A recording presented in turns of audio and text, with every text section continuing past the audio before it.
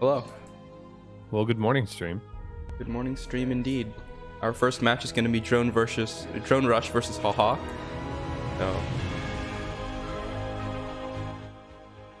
um, It's wonderful. Do I need to be on the EU server? yes, we are going to be playing on the EU server. Wonderful. I will. I will head on over.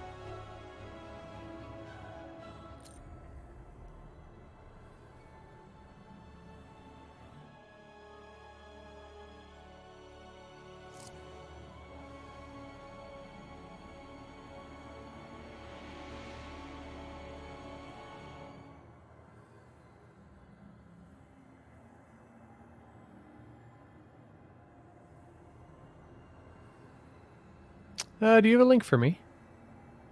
Uh, lobby link. Yeah. Let's do it. Where should I? Where should I be at? Rushy Cheerio. Here we go. Welcome.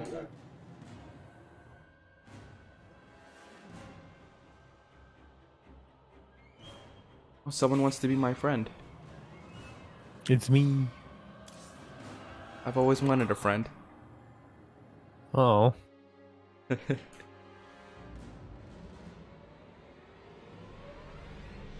oh, toss me that plebs invite. I don't think I have a clan currently. Did you get kicked out of Loco Clan? No, I left willingly uh, because of uh, Alpha X rules, but then Alpha X had more European members, so they booted me from that for the time being. I I'm see. Not super active right now, but that's fine. Then I can blend in. I just want to be like my friends. I, I think only a uh, an administrator can bring you into the plebs. I'm not entirely sure. Got it. Yeah. That's fair. I'll pretend. Yep. Just just pretend. It's all good. It's all good. Now I hope our participants are going to be coming in because I have not seen them yet.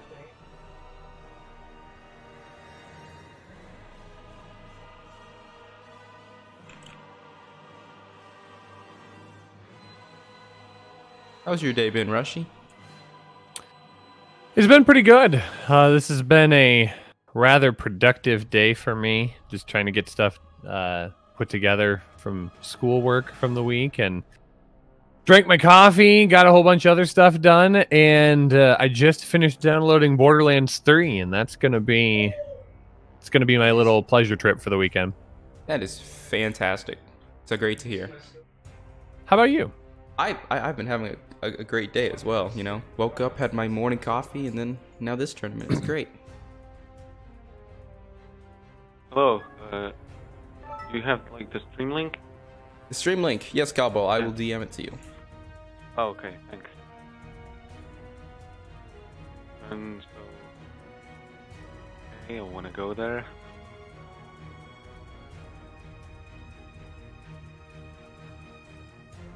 Wow, I'm the only one in the semifinals. Big oof. Mm-hmm.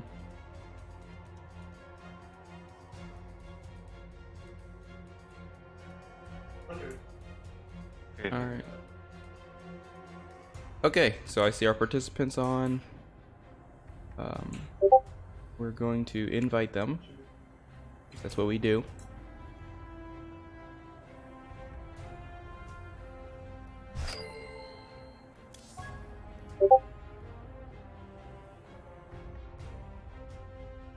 Looks like Drone Rush just went offline.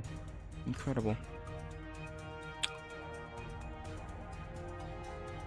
I do see him as away on Discord, for what that's worth. Yes, you are correct.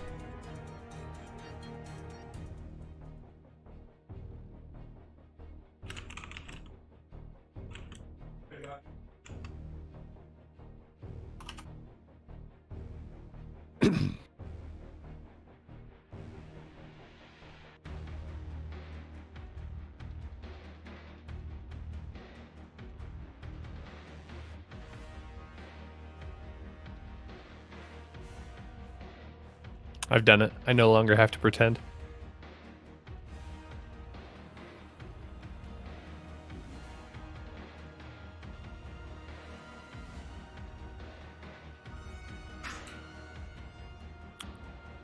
All right, let's get this thing underway. Um, let's see if we have our people in the party. Mr. Cobble, you'll be playing against Ha.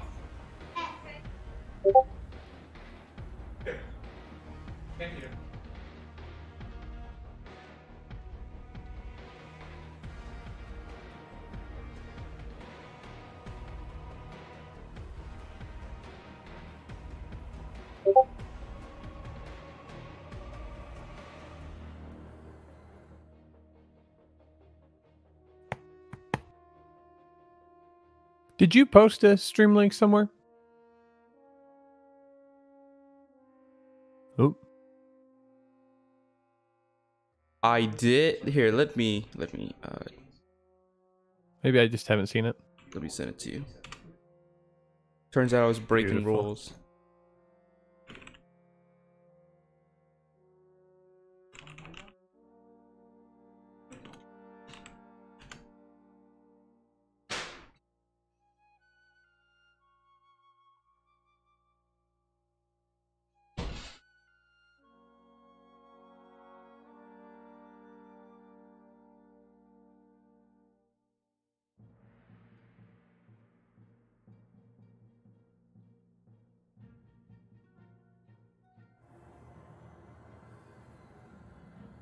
Mr. Cobble, do you happen to be with us?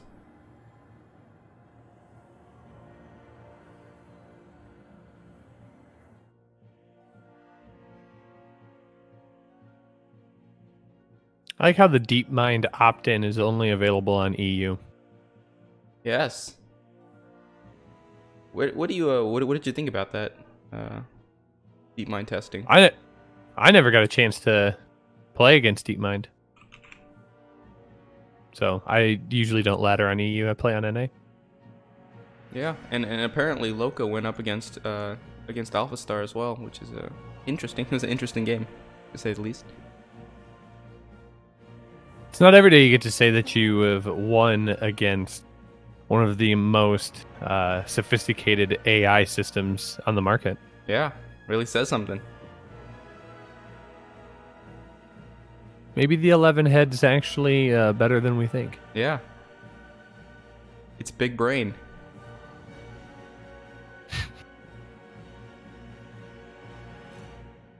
okay.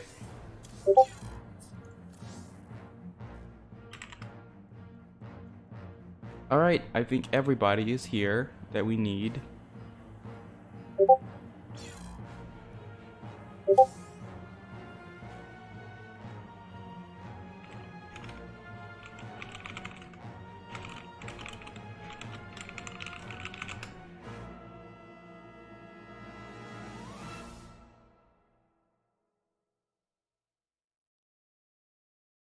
Oh, here it is. Okay.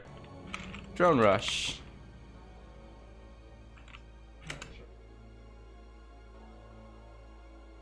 I suppose we will switch back. This is like the third reiteration I had to make. Okay then.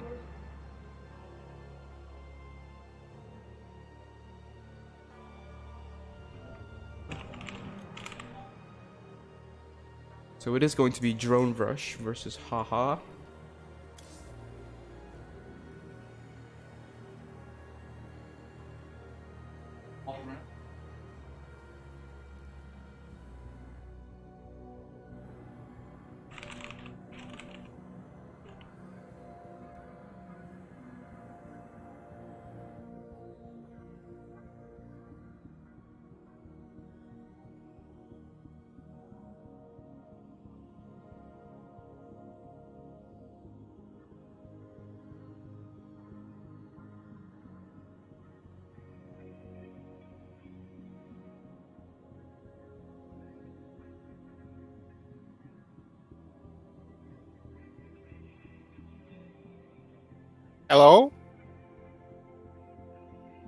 There, Mr. Drone Rush. Sorry I'm late. No problem. Um, so we're gonna have you coming into the first game, and Rushy and I will cast it. Yikes. Um, uh, what race am I actually playing? Uh, you're going to be playing your weakest race, I think. Okay. That's Terran. Are you making the map? I am, yes. Mr. Fox. Drone Rush, I see you, buddy. Alright, let's do this. Is the stream running okay, Mr. Gabe? I don't know. Uh, I don't know if this is working at all.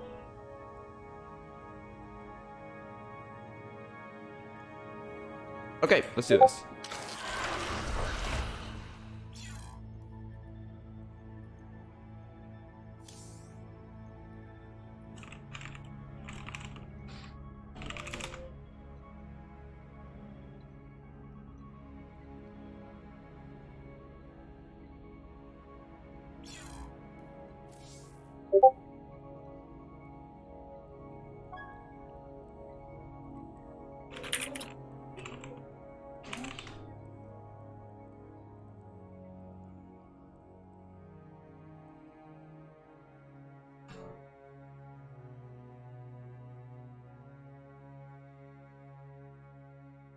Thank you, Darth Gabe.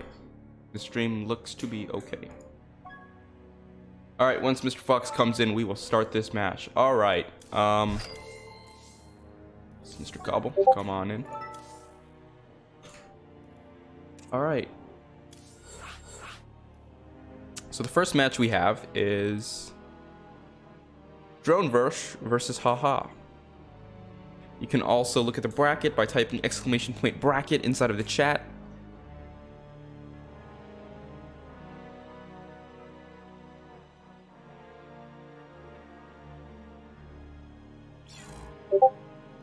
Guess I'll just leave the chat this game and then Yes. come back. Pro- probably a good idea, yes.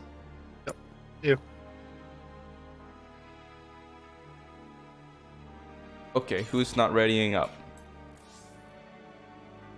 We need one more person to ready up. I think this is the problem with too many people.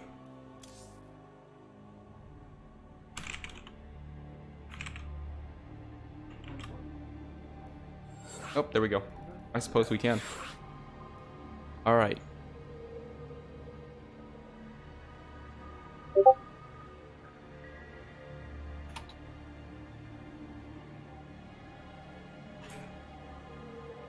Pick your races. Are you guys ready?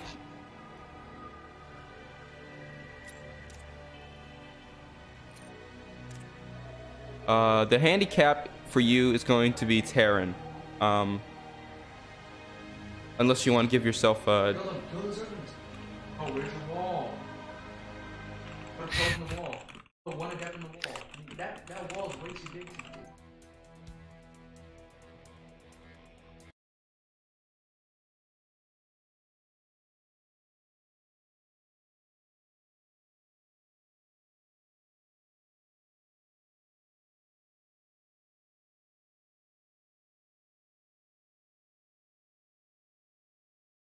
Actually, my stream is not coming through. Oh, yeah, now it is.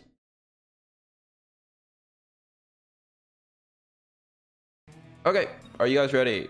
Let's go.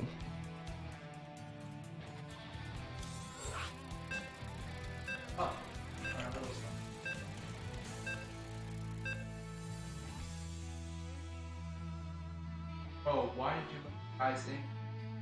Why'd you let the servants in? Huh? Supposed to put one adept in the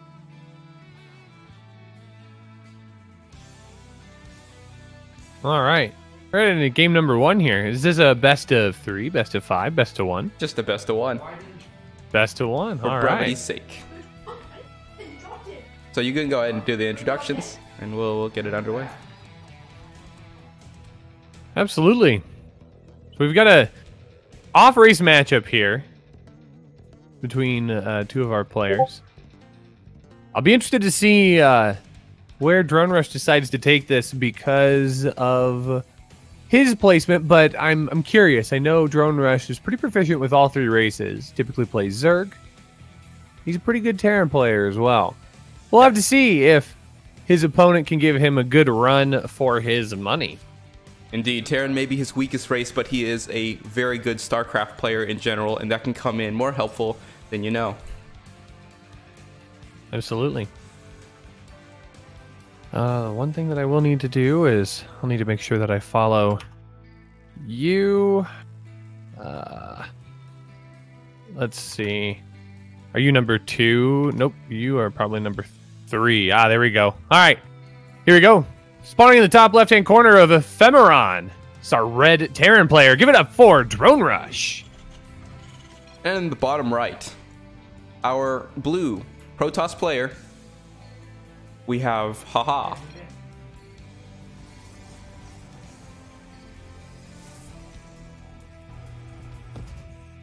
So again, just to make uh, to make uh, an observation, uh, Drone Rush is playing his off race. I'm not sure about Haha. Is Haha always also playing an off race?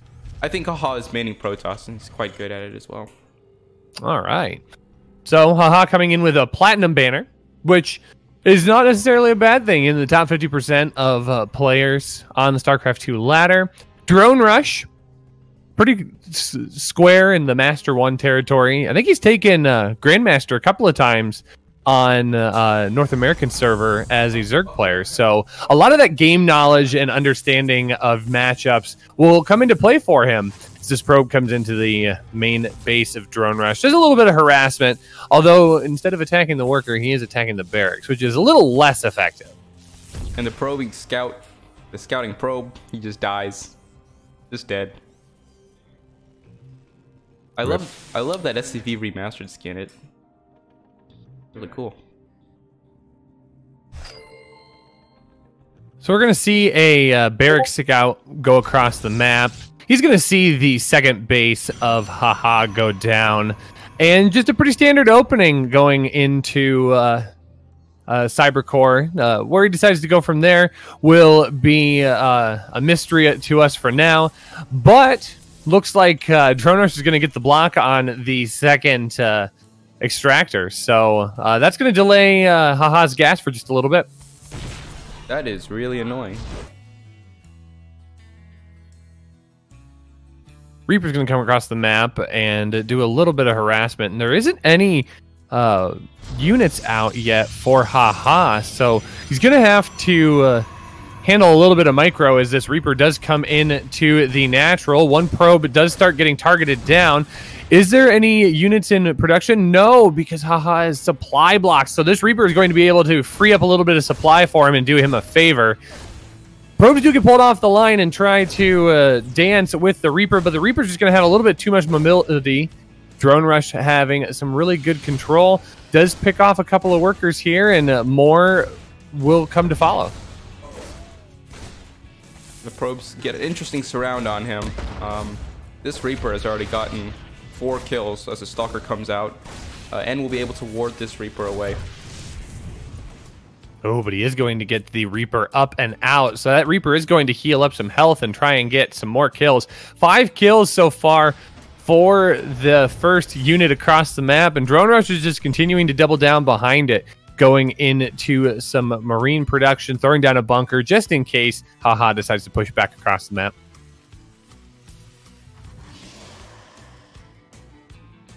Warp I think gate- Drone Rush is doing a good job of uh, kind of respecting his opponent. I mean, dropping that bunker, playing a little bit more defensively. I like that. Yeah, absolutely. There's a robotics facility that's being dropped, so uh, it looks like we're probably going to be seeing, uh, well, robotics facility units, warp prisms, immortals, and whatnot. Engineering Bay goes down for Drone Rush. He's going to transition probably into getting a plus one upgrade. One Viking coming out as well is going to try and take command of the air. Although I'm not sure that the Viking is going to be as useful here in a, a TVP as it would be in, say, a TVZ where you could go and send it across the map and uh, snipe out some overlords. More stalkers in production while the Reaper does try to get a little more scouting information and harassment in the main base. Currently just attacking that extractor, but it is going to leap up and away. But not before it tries to get a little more harassment in. Those stalkers are going to be able to pick that off. And an observer on the way. So, uh, haha, wanting to make sure that he doesn't have any surprises coming his direction. He's going to get that out, probably move it across the map to see what Drone Rush is up to. There's a third command center on the way for Drone Rush. Looks like he's feeling confident enough to expand and ex- um, add on to the might of the Terran Dominion army. Uh, he's got siege tanks up here. I, I think uh, Drone Rush is in is in a pretty good place. Yeah, Drone Rush is playing incredibly passive and, and incredibly uh, defensive. So he's got the Viking on the top right hand corner of his base to protect against any warp prism drops or harassment. And uh, I, I, I think that's okay. That's that's going to be fine. It'll be interesting to see what Drone Rush can accomplish here, moving across the map. He is going to send two of these Marines out to do just a little bit of scouting, see what he can find. But right now, I mean, both players are kind of playing in the same vein. Haha is back at his base. He is getting four gateways and moving across the map with some scouting information. So Haha's going to probably see this and gear up for a little bit of a timing. Um, but he doesn't have a whole lot to back it up. Uh, Templar Archives going down as well, so he's going to want to move into Archon and High Templar production. So I, I, think we're starting to see ourselves ramp up into the mid game. Yeah, and, and um, with those mules coming down, Drone Rush's production is off the hook. He's getting medevacs, he's getting tanks and and, and uh, marines, and it this is uh this is really going to put him in a good position when Stim Pack and his and his uh, armor grades armor upgrades finish. Um, this third base could really be under fire. Marine does scout the third base location of Haha, so that does kind of set Drone Rush a little bit behind economically. A scan goes down at the front base and he sees the bulk of the Protoss army starting to form. So Drone Rush is going to need to respond to that. But he's already ahead on army 41 to 28 army supply for both players, respectively. And I wonder if Drone Rush could be a little more aggressive with the economical. Um, side of things. He is down 10 workers, and mules are good. Mules will help even that up just a little bit. But uh, he doesn't want to let that go too long unchecked. Otherwise, haha is going to explode economy wise against the Terran. But here comes a drop here. Uh, drop contains the tanks and eight Marines. This could be a sizable force here. The Protoss army is stuck out in the front. Oh, it looks like he's gearing up to push out, but um, this drop will have to cancel that. Both armies. Rush also has. Yeah, Drone Rush also has that uh, little army coming across the side. He is going to see this, and I think he's immediately going to take those two drops by the base and move in. Oh, but he's not sure that that drop does now finally go into the main base, and this is going to get a lot of damage done.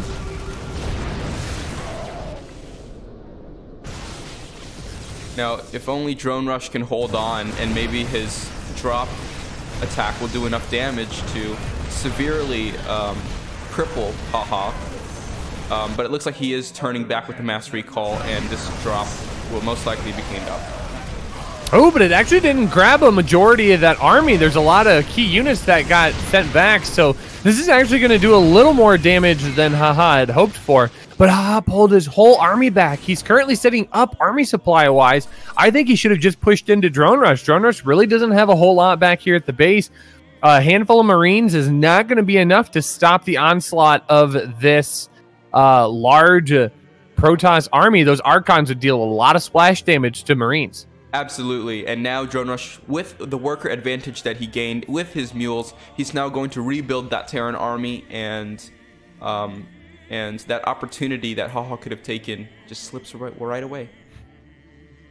Still a pretty close game, 111 to 109 supply, and it doesn't have a clear uh, advantage towards one player or the other. But I do like Haha's army composition going with lots of splash damage. That's going to be really good against these uh, largely bio uh, contained forces but we're starting to get a larger medevac count that's going to help as well. But here comes a good engagement here. Tanks aren't allowed to siege up, so the stim is not going to be as effective as they have to try and kite against all of these zealots. And Drone Rush is going to be forced to pull back. That was a great engagement here. That's going to force Drone Rush all the way back to his base. He's going to have to regroup. Excellent. But there's a drop going in here, uh, killing a couple workers here and there. Looks like it'll be taken care of with a simple warp in. Drone Rush is going to have to be careful in the center of the map. He does need to pull his army back. He is not going to be able to handle this surround. Those Archons doing a lot of damage here with the splash, and those are medevacs are going to be forced to pick up and fly away. But now the front of Drone Rush's base is vulnerable. These tanks are going to need to siege in time, and they just get things up. But I'm afraid that this is going to be too much to handle. The drop at the main base of Haha has been completely neutralized, and I don't think Drone Rush has anything to deal with this large force coming in. Now Marauders and Marines coming in through the back, and they do take care of those big beefy Protoss units, but these Zealots are just slicing and dicing and taking care of that second base mineral line, which is crucial to the economy of Drone Rush. Yeah, I wish those Zealots would have been able to defend the backside of the Immortals and Archons because had they not been all picked off by those uh, small reinforcing forces, of Drone Rush, uh, I, I, think we'd be seeing GG here, but this is still pretty devastating damage as these Zealots are going to be allowed to go unchecked here for a large amount of time. It's going to take a lot of depots away from Drone Rush. And Haha -Ha has gained a massive economical lead. Um, it's up to Drone Rush to decide how he wants to pull back into this game. If he wants to transition or slowly make his way back up. He can't play from behind.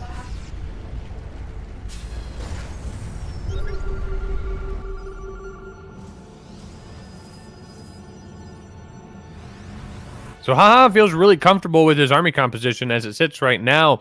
But this is actually going to be a big moment for Drone Rush. This is kind of an all-in moment. He's down 16 workers, but he's up almost 40 army supply. Haha needs to be really careful that he doesn't sit too far back and let Drone Rush push in and get the best of him. He does have a lot of shield batteries sitting at his third base expansion, so if he can get his army to rotate over, I think that he will be okay, but his army is still sitting in front of the natural this could actually be some really uh, strong damage from Drone Rush that could really get him back into this game. Now, Rushy, how much damage does he need to do in order to kind of even even out and stabilize the game again?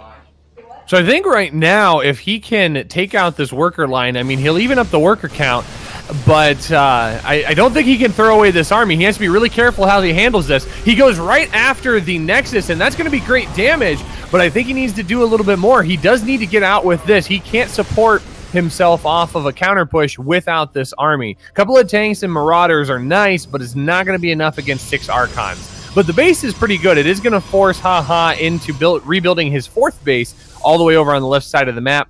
But those probes are just going to relocate to a new third base location. It's ha already halfway completed. This could be a really good ramp to hold for Drone Rush he is up in the army supply, but I don't think all of his army's here. This army is going to push up the ramp here. He does need to mobilize his forces. Stim finally goes down, but the Archons were allowed to approach a little bit too far. He is going to have to fly away and to get away with this army. Drone Rush in kind of a, a tricky position here. It looks like he's going to be able to fly away, but this Protoss army is now on the prowl. Let's see if Haha wants to commit and take this third base out of the picture. I think he's absolutely going to get this uh, taken care of here. Basically going to be forced to lift off here, but those Archons could continue shooting up if they want to, but they're going to go right after those workers. That entire worker line is going to be demolished. Meanwhile, tanks are allowed to push forward and uh, get the bulk of these forces pushed off the third base.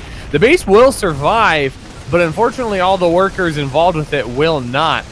Rest of this is going to get cleaned up. Warp Prism is going to try and grab uh, what it can and fly away. The fourth base is complete. Meanwhile, haha, working to try and saturate it. Both players are still kind of evened out here. Drone Rush is able to uh, make up the difference of 16 workers and mules, but he can't keep doing that forever. He really needs to secure uh, a little bit more solid push here to keep himself in this game as his main is beginning to dry out. And the Protoss player is on an insane, absurd amount of bases. Drone Rush really needs to put the pressure on if he wants to come in. Two Liberators. Well, and I like. Go, go ahead. Yep, two Liberators are heading across the map, and we'll, we'll spot this. What is it, the sixth base already? Let's see if he can pick off a mineral line or two. Uh, I don't think he's even going to worry about this. I think he wants to go for a little bit more damage. Four probes is not quite worth it, but 16 probes, that'd be a little bit more up his alley. He's definitely indecisive. Ah, he's going to divide and conquer. Why get 16 probes when I can get 26 probes? And the Liberators are going to be forced to go to work here. The Army's only now responding. It will eventually clean up uh, these Liberators. But uh, I, I worry for our Protoss player here. He's got the bases, sure, which is great. But right now he doesn't have the production to match it. He's only sitting at 138 supply, and that's 10 below his opponent who has one less base than him. But he does have the army strength and he is going to move across to try and do something with it. Scan goes down. He's Drone Rush sees the urgency of with which this is going to happen. It's all going to be uh, lumped into this. Archons move forward and wreak a lot of havoc. All these tanks are going to go down along with the Liberators, and this bio is not going to have anything to support it. Nice little surround, though, is going to deal a little bit of damage and kind of force Haha all the way into the base to deal some lethal damage. A little bit of micro, stutter stepping back but there's just going to be enough Archons to continue wreaking havoc here. But I think Drone Rush is going to be able to clean this up with reinforcements, but not before he potentially loses more workers. That was a lot of Archons, Rushy, and I was really scared for Drone Rush there if he couldn't hold on. Looks like he's pulling the workers to finish off that one Immortal. But here we are back in the cycle where they rebuild their army and throw them at each other. Uh, one of them really needs to get a leg up in this game if they want to secure the victory. Well, they keep seeing that Drone Rush is uh, adding on more and more of his uh, mech upgrades. Currently researching plus three uh, mech upgrade, uh, mech attack, and I would almost love to see him switch into a more mech based composition. I mean, tossing in some Thors, tossing in some Cyclones. Cyclones could actually be really effective against the Immortal composition that Haha keeps uh, kind of doubling down into. Um, I'm also not sure that Haha has Storm researched yet. Uh, no, I don't think he does. So that is. Uh, kind of pushing him into Archons only. I think a couple of storms would really clean up Drone Rush's army and give Haha the uh, push potential he needs to actually end this game. But he's going to double down and continue building some more robotics facilities, wanting to continue his immortal production. Looks like these zealots are going to try to find the opportunity for a run by. Um, Drone Rush adding on planetary fortresses, so we'll see how this turns out. Regrouping with the main army and warding off this little uh, marauder drop, is that?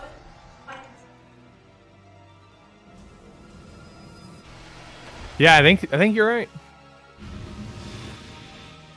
Now, Rushy, what do you think of the Liberator? I see Drone Rush uh, adding on more Liberators here. Do you think uh, that unit will turn the game in his favor against all these Archons? Say that again. Sorry. Uh, the Liberators. How do you think they'll play a role in this? So I think the Liberators are going to do a good job of locking down uh, attack points, but they've got to be in position. And right now, they're not assisting in this fight. Stim is going to, or Bio is going to stim backwards and deal some good damage. And the tanks were great in the cover fire here. So this army is not allowed to push in without taking some significant damage. And without the Zealots up front to uh, soak up a lot of the damage, uh, a lot of the uh, bigger tech items are not allowed to push in without being uh, thrown away. I think Drone Rush's tank positioning here is incredible.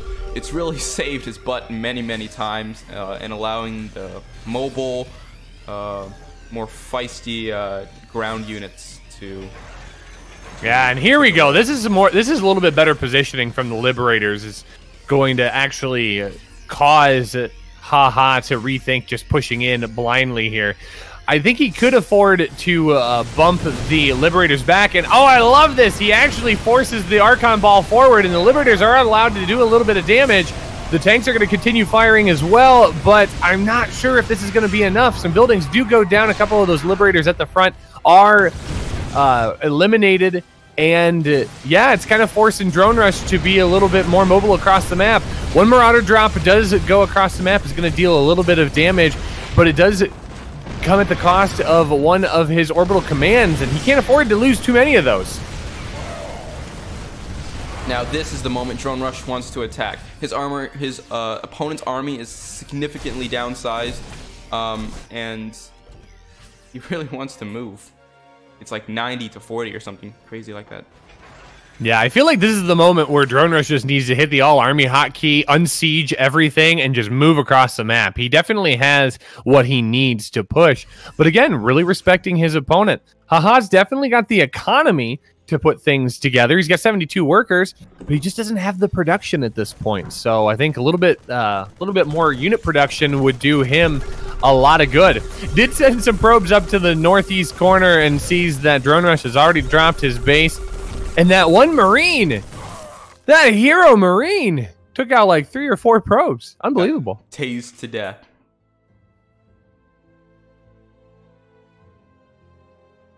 So, Haha is going to continue searching for more places to mine. And again, I don't think that's his issue anymore. I think he just needs to build, build, build. He's certainly got the forces, he's certainly got what he needs. I don't uh, he does have the upgrades. He's 3 3 on all of his uh, ground units. He just needs more of what he's got. But this bio ball, whoo, this bio ball looks a little scary. Yes, indeed, Rushy, but he's going to have to pull back if he wants to defend his base uh, on the outskirts from this impending uh, uh, Protoss push. Um, but you know what they say, never base race a Terran. Um, he's going to if uh, Drone Rush puts on the pressure here, he's going to have to mass recall, and I think that Drone Rush does have the army and the power to be uh, throwing this Protoss army in the trash. Yep, I think this is I think this is his moment. A, a good siege location, and uh, he's going to be able to just stim this bio ball forward. He needs to get all of it though. But you're absolutely right. We're going to see why you never want to base race a Terran. A lot of workers stuck at that base, though. He's going to lose 20 to 30 workers. Unbelievable. So Drone Rush does need to make it happen here. I think this is I think this is Drone Rush's final stand. I think with the amount of workers he just lost, he's down to 13. You can't mule your way out of that. Now, here, while the Protoss army, a portion of it is going to be sent back, and they're going to have to face the massive Terran army. Now, Drone Rush going after the important tech buildings here in the Protoss army, and they're going to engage, and the Protoss army is going to try to stop it. A drop in the main uh, really is going to put him in the, the advantage, the positional advantage that he needs. You know what they say about the high ground. Yeah, I actually wish he would have taken the tanks and moved him up to the high ground because the moment he stimmed his arm, his bio army back away from the tanks, the Zealots were able to get right on in on top of them and deal the crucial damage they need, and that's going to stop Drone Rush's push, at least for the moment. Liberators are going to help secure the position, but I don't think it's going to be enough to hold it down. The fourth base all the way on the left did get picked off finally, which is good for Drone Rush, but I'm, I'm, I'm getting nervous here. Oh, some crucial unpowering of buildings. That's going to slow Haha's response on this. This is such a scrappy game here. 23 to 14 workers, but Drone Rush has uh, twice the army supply. He just kind of has it spread out, and a lot of it's still stuck back at home. Yeah, both economy of uh, the economy of both players have just tanked, and it's going to take every single dime and cent to rebuild armies and structures. But I think uh, in th at this point in the game, Drone Rush is really taking out that main, uh, the main tech buildings of the Protoss. So they're going to be knocked back to Stone Age. Well, and I mean, it's going completely unresponded to. And the GG, GG. is called. Drone Rush takes the victory here in our best of one, playing on his off race. Drone Rush using that that matchup knowledge. He's seen it all before. Hey, I've watched I've watched Maru drop Zest before, and he couldn't do anything about it. Took care of it. Here we go. Oh wow, our brackets are all messed up. Um, okay, well, how about we uh, just kind of... Whoops. Go back, go back. Okay, on to the next matchup. Um,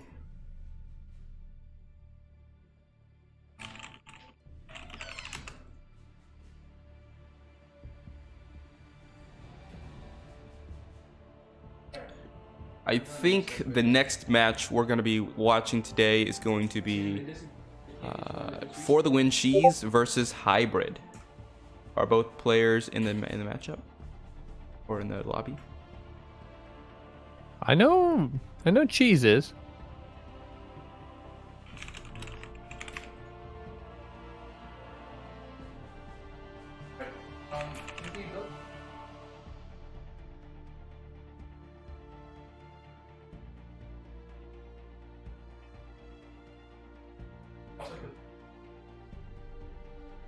All right. Um, there we go. There's the invite.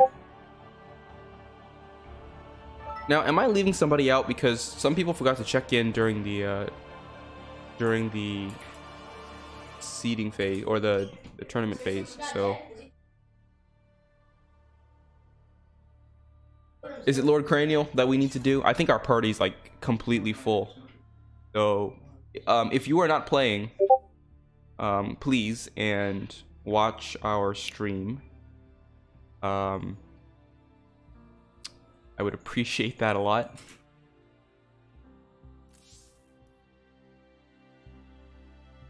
Thank you. Um, so Lord Cranial, do you know if Lord Cranial is here?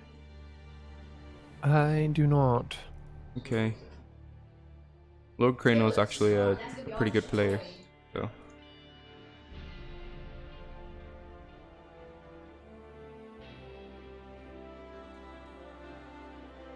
If that is his username on StarCraft, I do not see it. Okay, well let's just go ahead and go on with uh, hybrid versus cheese. Um, are, are we bringing Drone Rush back in? I think. he- Um, Um, he asked me to invite. okay. Yeah. yeah. Evening, fellas. I just wanted to introduce myself. It is I, Fox McBrush. anyway, so uh, the next matchup was meant to be for the win Cheese versus Lord Cranial. is uh, Cheese here? Believe let me so. check. You guys make conversation while while I set this stuff up. Okay, uh, while you guys set this all up, right, I'm gonna rewrite all the names on paper like I did for my very first tournament. Uh, this is gonna be difficult though. Um, you guys, let, let the show commence. Uh, let the show go on. Uh, I'll be back in a minute. Well, here we can talk about uh, talk about some recent StarCraft 2 happenings. We just recently had WCS Montreal, where we locked in our top eight WCS circuit uh, players, moving on to BlizzCon. Uh, talk to, talk to me about that, Fluffy. Any any surprises? Any excitement that you have for the top eight?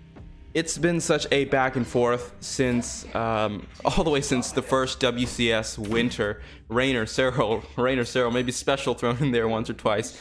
Um, but I think uh, Reynor took two, Serral took two, if, if I'm if I'm correct, right? Yep. Yep, and then you can throw Neeb in there as well because they split up uh, WCS Winter into Europe and North America. So Neeb also considered a circuit champion this season. Yes, indeed. Um, yeah, I'm gonna I'm gonna go to Do Not Disturb. How about that? Yeah. Um. So, uh, who are the eight players that are that are headed up? Do you know? Do you have? So, top of your head? so yeah, the eight players uh, in uh, descending order. So we have Serral up at the top, no surprises. No surprises. Followed by Reynor. Uh, in third place, we had Neeb, followed by Special. Uh, for the first time going to BlizzCon, we have a Chinese player, Time, representing uh, China for the first time at BlizzCon, which is really exciting. Hero Marine coming in at number six. Elazer with his electric performance at uh, GSL versus the World bumps his way into the top eight. And Showtime rounding out our top eight spots. And this is where life got a little bit interesting if you followed some of the, uh, I'll call it drama at WCS Montreal. Um, they walked into the round of 20 or round of 16. The top seven spots were locked in. Elazer um, advanced far enough into the tournament where he was going to have enough points to be in the top eight, which was great. The only person was Showtime, and Showtime was at the mercy of Stephano. Stephano had to go all the way and win the whole thing. He had to beat, he would have had to beat Special. He would have had to beat Reynor. He would have had to beat Serral. Yeah. If he would have done that, he would have gone. But fortunately for Showtime, that was too tall of a task, and Showtime was able to advance uh, by the skin of his teeth. Yeah, and I, I I think if you can if you can beat those three players in that order, um, you're you're sitting pretty. I mean, you would have deserved to go that that much for sure. So Absolutely. very very excited. Honestly, as much as I love Reynor, I really want Serral to come and take this second WCS. He will be the second player in history, first player in history to, of course, be not be a Korean and and uh, and win the the tournament, the big WCS final. Um, but he will also be the second player after was it SOS? That was he took he took the BlizzCon twice. Yep, yep. He's the only currently only person to win BlizzCon more than once, and I think Serral's got a chance. I think he definitely has. Um, he definitely has the ability to do so, but it's going to come off the heels of taking down some very very strong players. I mean, there's a lot of good Koreans playing right now. That uh, I mean, you know that they have to be studying every single replay that Serral puts out through these tournaments, and uh, WCS Fall is going to be no exception. Uh, it'll be interesting to see where Serral and Reynor line up against each other in the brackets. I wonder if they're going to get placed on the same side or if there's going to be a potential to see maybe if the cards align. Could we have a Serral Reynor finals at BlizzCon? I certainly hope so, and that's my bet. But let's gonna be uh, we're gonna be jumping into the second game here. It's going to be for the win cheese versus hybrid. All right, are our gentlemen ready?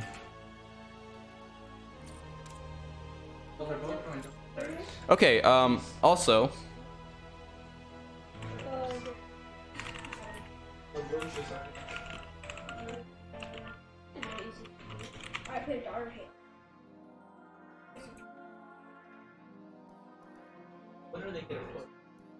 let's do this. They each got one gas. Ah, yes. Um. So, so I think you said stats, may, and maybe I misheard. Uh, it's SOS with SOS. uh two Yes. two yes. BlizzCon titles. I think you said stats by accident. Okay. Well, it, it's it, yeah, it's SOS because it's a uh, dollar sign O dollar sign. Absolutely. For for both of his wins. Yeah, that's a lot of money. So what's the All right. So we're headed over to Disco Bloodbath here for our next best of one. It's going to be a Terran versus random. I know our random player is pretty pretty infamous for his random play and uh, liking to assert his dominance over his opponents. no. Well, have to see. I'm actually not familiar with one of our opponents either and how they play, so I'll be curious to see what they have to bring to the table. I think Hybrid is a really defensive uh, Terran player, um, but he isn't afraid to dish out a little bit of, of damage too. And for the win cheese, of course, as you said, random play style, and as Reddit would say, username checks out. decide whether I'm going to- Absolutely. And here we are. We're jumping into our our next game, our second match of the day, spawning in the top left of Disco Bloodbath. It's our yellow Terran player. Give it up for Hybrid.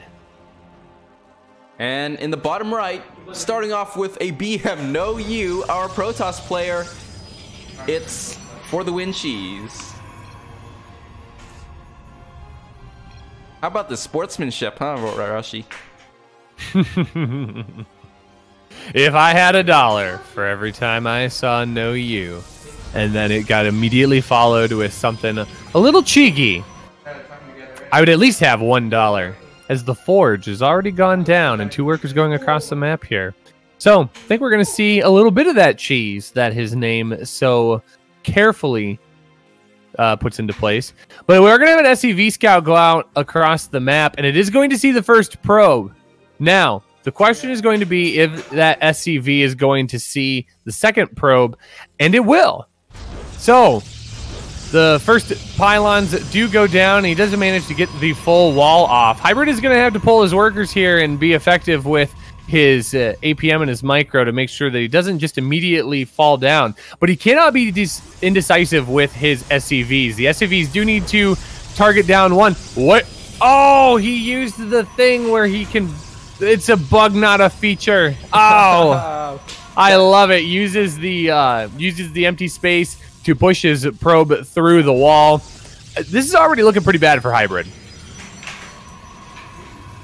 This is not a good situation. First Marine comes out, but I don't think it has what it takes to be throwing, thro- uh, destroying those cannons. One on the high ground, one on the low ground, and um, man, uh, if, if I guess he throws down a bunker to be doing that, but at that point, um, you might as well just go somewhere else. I mean, the bunker's nice, but if you don't have units to put inside of it, it's not going to be very effective. Another barracks is going to get built off into the left out of cannon fire range for now, but these cannons, if they go uncontested, I mean, this is going to get really dicey for hybrid. And the gateway finishes. He's probably going to be pushing out some sort of unit to help ward off the Marines from those uh, rooted cannons. The first uh, bunker goes down, didn't lift it up in time. Um, this is scary for Hybrid. He's supply blocked. And he's got some depots queued up. I mean, he really needs, yeah, I was going to say, he's got to get those other workers over there to help with those depots. Otherwise, it's not going to matter. The Bears is just about complete here, and a couple of Marines is going to stave off the attack for now. But it'd be very easy for uh, Cheese to just take a pylon down onto the southeast side of the base and slowly start working towards that second gas. Um, second gateway is actually going to finish up here, and two stalkers are going to pop out and start causing more and more havoc, along with the shield battery to help keep them nice and refreshed. But back at home, he's got a full wall off. He's happily mining. For the win, Cheese is in a good place. And for the win, Cheese is slowly choking the life out of our Terran player. Orbital goes down. Another barracks goes down. Um, and these two stalkers are just going to pick away at the mineral line at their heart's content. There's a shield battery, and that really is an indication that our Terran player is in a poor, poor position at the very best. Yep, and and now starting to just pull completely off. So there's absolutely no mining happening here. And I'm not quite sure what Hybrid wants to accomplish here if he's not going to be able to mine. Uh, a couple more Marines are going to come out just slowly but surely, but the the stalkers are coming out two by two, and eventually he's going to have enough stalkers just to be able to kill that bunker and uh, just be done with it. And I don't, I don't know what the what the command center is doing over there, but you know what? It works, right? Yeah, this is pretty, some pretty dire straits here for Hybrid. He doesn't have the production he needs to make this happen. And as these stalkers leap forward, they pick off more workers one at a time until he's just not going to have enough to be able to heal this bunker. This bunker is going to be threatened here. The healing is going down. But, ooh, okay, so it is going to hang on for now. One stalker does get picked off, so that's actually pretty good for Hybrid. But it's a small step in comparison to the mountain that he has to continue to climb here, and more and more workers continue to fall. Meal that's picked off.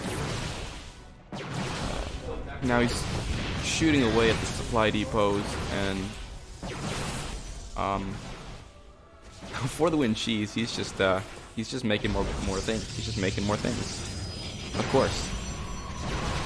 Yep, he's just going to continue pushing out towards the west side of Hybrid's main, which I don't even know if I can call it Hybrid's main anymore. I think I think For the Win Cheese has as many buildings, if not more, than Hybrid. Cheese has just moved himself in. Yeah, and and in in a situation like this, you really want to get your priorities straight because if you start wasting money on things that are luxuries at this point in the game rather than necessities, um, you're just gonna fall down. Um, so I would recommend hybrid just float away, or he should have been floating away earlier because these stalkers are gonna be relentless. GG. For the win, GG is on. called. Absolutely. Living up to his namesake.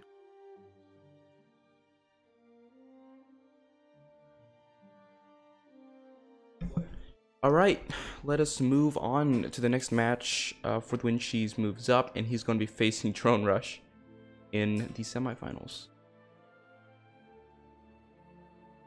Uh, hi guys. okay. Hold on. I still have food in my mouth. Give me a second. Okay, so are we gonna have Zer versus um, whoever's coming up next? Zer versus Fox. Uh, no. Uh, I wrote down the the players on Mhm. paper, Mhm. so it's completely different because I couldn't remember the link. Okay. But- uh, But it's fine. It's fine. Uh, I, I I did it according to the games we've had so far. Okay. So right now it's going to be um, Cobble versus Lord Cranial. okay. Is he here? Yeah, yeah, he is. Um, and then after, and then after that, it's going to be me versus Captain Awu, and Lord Cranial will get to co-cast if that's okay. All right, that sounds like a plan. Thank you for playing hybrid. Um, let me. So who's your, who's your next game? Who are we coming up next? Oh yeah, so uh Cobble, are you there? No, he's just messaged me. Um. Now, Lord Cranial is actually um. He is. Don't know where he is. He's idle. it's fine. He's playing, I think. Um, I just toasted some bread in the morning and realized I left it there in the afternoon, and then I was like, ah, I should eat this. So I tried making a sandwich for myself, and I've never had more stale bread in my life ever before. It was really hard to swallow. anyway, um, Cranial, let me invite him. Where's Cranial? There, there he is. Ah, he's rocking the Nova portrait. My man, I know how he's like. Okay, he's joined. Start a custom. Okay, I'll, I'll just be uh I'll just be scouting the game. Fox, you can cash with Rushy. Oh, nice. So how are you, Rushy? You good? I'm doing wonderful. How about you? Nice. I'm doing brilliant. So how's uh, how's your, how's uh, I don't know work? What do you do for your free time? Well, um, so you're seeing what I do with my free time here. Um, but, uh, but no, I I'm a high school band teacher. I recently just took a new job at a school about three to four size times the size that I'm uh, taught at last year. So Oh, nice. fun job. Fun job. I've been putting in about 12 to 14 hour days, uh, pretty Damn it. consistently for the last three weeks. So, Nice man. How are the kids? oh, the kids are great. Kids are kids are awesome. They're a lot of That fun to work fun. with. We have um we have homecoming next week, so we have a lot of performances as we get ready for our uh, football game next Friday. Dude, that's even more fun. I, you know, ah, this makes me nostalgic about secondary school. I mean, sorry, high school for you guys. I don't know why, but in London, and in London specifically, you have um, secondary school. You call you call high school secondary school, Mhm. and like somewhere in the north of, of England, someone's calling it high school. And then when he would talk about it with me, I'd be like, uh, "Excuse me, are you not British?" And he's like, "What? no, no, no, no. I'm as English as they get. I, like I can't impersonate a Geordie accent, but if I could, that's how he'd sound like. And like, we were just going a conversation about how the world is so different on the other side. Northerners are so are so I don't know crass sometimes, and then like Southerners are, so, are the refined folk. Oh yes, hello, hello indeed. Uh, anyway, uh, should we uh, introduce the players? So, do you know any of them? Just Uh, off the chance.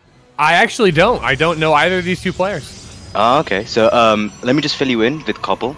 So he likes to cheese gold players, you know, the, Ah, the I see, I tyrant that he is. I I hate when he does it, and I feel like making a YouTube video of a, of like of a poor victim being chased by a, an effigy of cheese, you know, and then and then like in the end it would just like fade to text French cuisine. Never once. Oh, For context, he is French. I see. I see. Yeah, oh, and he and- spawned. And he spawned in the top left-hand corner of Winter's Gate and is our blue tri- Protoss player. Give it up for Cobblestone.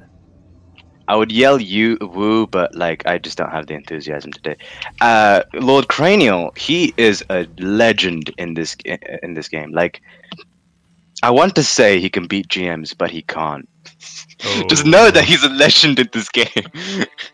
he's, he's really good. I, I love him. He plays well. And he's our Green Terran spawning in the top, the bottom right of our map. Indeed, he is. Anyway, um, when I've been playing Terran recently, right, I always feel like it's it feels slow. I'm gonna be honest. And like when you play Bio, it feel like yeah, you, it's kind of like a fix for your feeling like when you play slow. My Oh, main okay. problem though is that your units don't come out immediately, unlike Protoss or like uh, what was the other one? Zerg. That's my main. I was gonna say. I mean, I, I'd tell you that there were a lot to memorize, but you know, three's not that big a number. So. yeah. yeah, true. But I mean, like, actually, I have no excuse. Anyway, right now, like Lord Cranial tried scouting out something and actually found nothing except for a cybernetics core. I would say that means a lot, but it means actually nothing because, like, why wouldn't you go double um, cybernetics core? Oh my god, my favorite move. Okay, Cobble. Cobble is this thing, right? Where he goes double robo, and then he does that weird pro move, pro gamer move, where you like drop micro with an immortal. And the fact that he's Ah. diamond and can do it, so entertaining. I remember he showed me a ladder match where he actually did that, and I was like, oh my god! Sorry, it's just such so well played sometimes. Right now, Lord Cranial using the Reaper to take out a couple of probes, and then he gets one. Oof, feels bad. But you never Well, take a probe from Cobble. Well, and I think it's interesting because uh, Cobble was uh, initially showing at his natural that he was going to go into a uh, second base expand, but then absolutely right as the Reaper kind of pushes away and sees, oh, this is going to be pretty normal. All of a sudden, uh, cancels the pylon that's building and it goes right into that double Robo Bay facility. So one. One immortal on the way out doesn't quite have enough resources to start the second one, but he's got two stalkers as well, and I think those are just Oh, the going to be Warp Prism take care of Boys, the- it's coming. okay, this, get get amazed for this good micro. Actually, I hope he does a good micro. Sometimes he's just lazy and he just plots them down because the drop is good enough. But I mean, this is a D- diamond versus diamond. What rank are you, Rushy? I am uh, right at the top of Diamond One. Oh, damn. Okay, that's actually kind of good. Uh, are you Russian? I am not. I'm That's from really the the wonderful United States of America. okay, that's that's that's better. Uh, yeah, I, I approve. You have my Fox seal of approval. All right. The observer.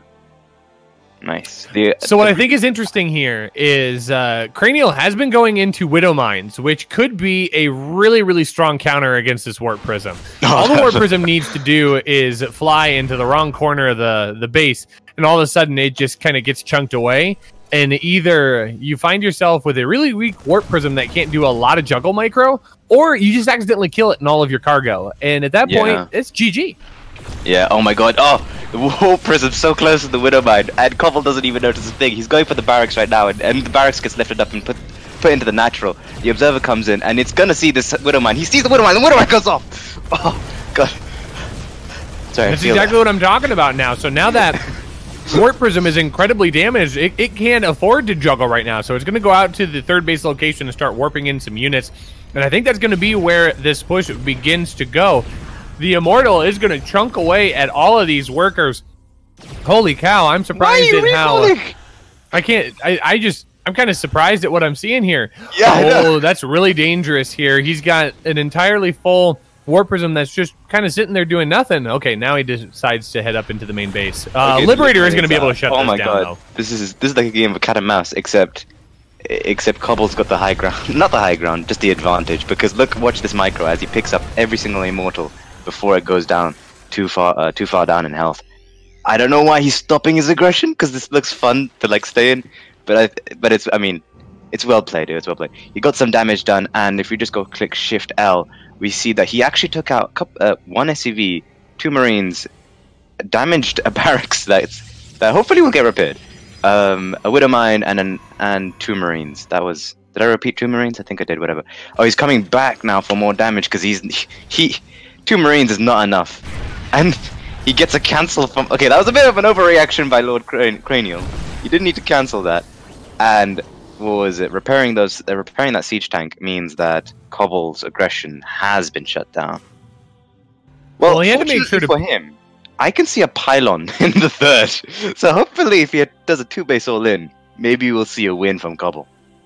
Well, he had to make sure to stop his aggression earlier because of the Liberator. If the Liberator wasn't uh, being sieged, oh, he's going to try and get more damage done with this.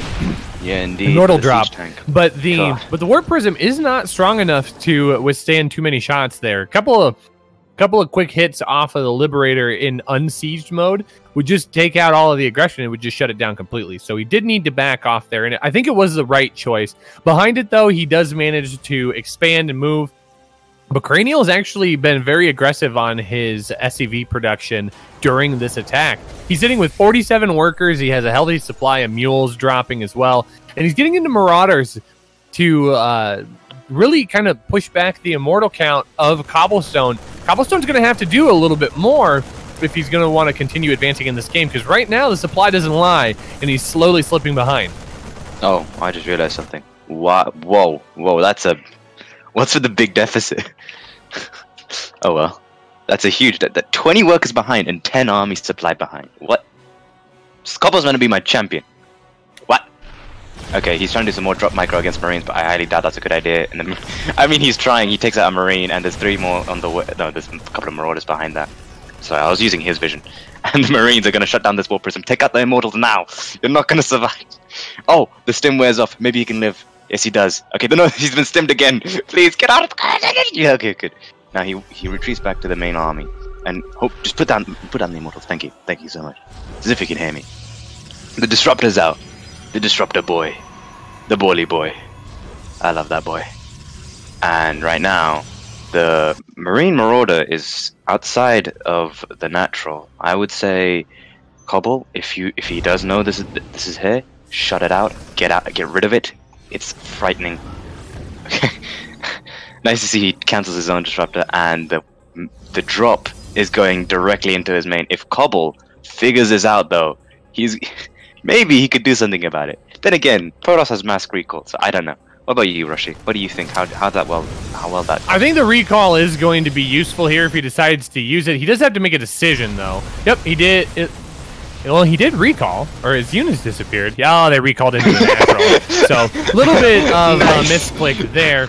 So he's going to get a lot of buildings picked off there. I don't think he killed anything super valuable. Did take out some pylons, but uh, those are easily rebuilt. Uh, a couple more gateways going down as well, but Cranial's continuing just to uh, follow the Day9 tradition.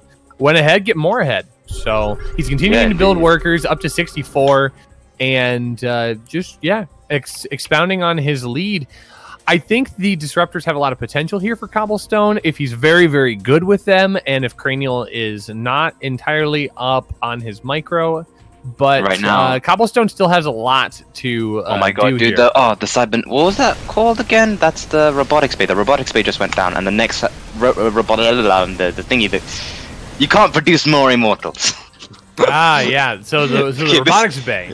Yeah, this drop in the main is doing great damage. It took out pylon and it's gonna go in through, through the mineral line. Luckily, there's no workers there, and for some random reason, they've been rallied into the main fight. Let's see some real action, boys. He pulls the boys in and takes out. Okay, Lord Kranos is taking out the main, uh, main nexus for Cobble, and right now with the disruptor shots. I feel like this is his all-in move. The Marines and Marauders get stimmed out of the way, and Cobble, just do something. Make a hard. Okay, so Cobble's made a hidden base while he goes for this all-in attack. Just look at this mineral line wall. But in a slow zone, that's a horrible decision to choose. You should go for the attack move now, and he goes for the siege tanks. The siege tanks are being overrun by freaking probes. Oh my god, he's taken out all three of the siege tanks.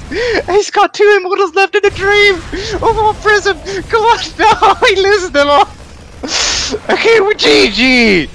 Well played by Cobble. Ah, our champion, our French champion. Oh god, that was that was a good game. GG, man, GG. All right, what's our next match? Our next match. Let's quickly take out the paper again. Where did the paper go? okay, it's gonna be Lord Cranial. No, no, it's gonna be me versus Captain OU. So someone's gonna have to co-cast with Lord Cranial. Um, I can I can cast with Rushy if that's okay. Uh, I promised uh, Lord Cranial if he could co-cast. Is there another game you can co-cast in?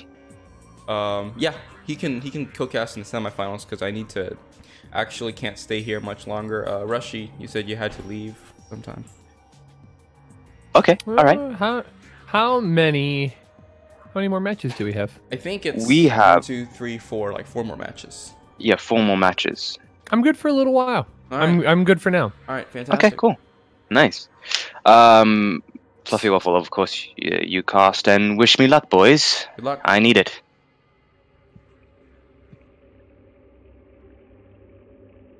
It's gonna be Who did he say he he was going up against? Awu? Okay. I think you're right. All right.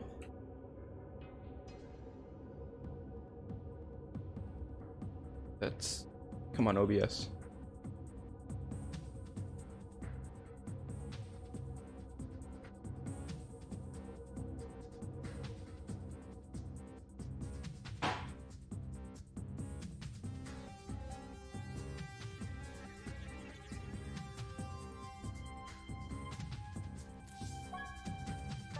Is that Captain Undead? That was a woo.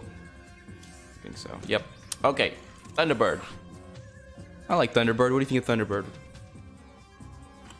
Thunderbird's kind of an interesting map, especially for Zerg, because it's got that tucked in third base with a giant uh, ramp leading into all three of the main bases.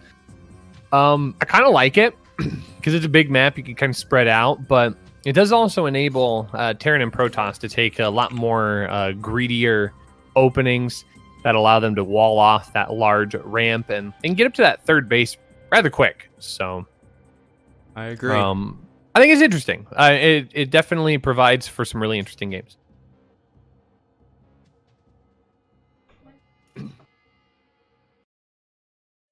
So we are just waiting for the lobby to uh, Yes. be formed right now. We've got one person, one person that needs to. There we go.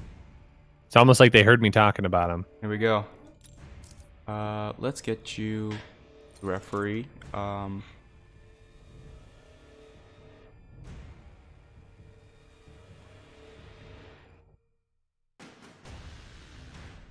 all right.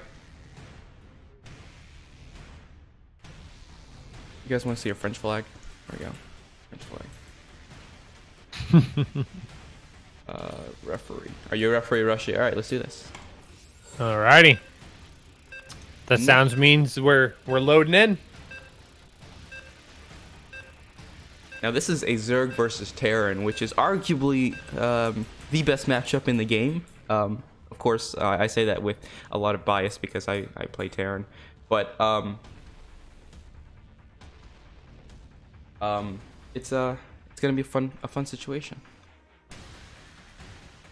Yeah, I think we'll see some uh, some interesting strategies here. Kind of like what I talked about. I'd be curious to see how Captain Undead handles that pocket third base, uh, to utilize the the map size to its advantage. Yeah, uh, third base pockets are, are very nice. I, I like to I like to just play macro in general, and uh, an easy third base means that we can get to a bigger army relatively quicker.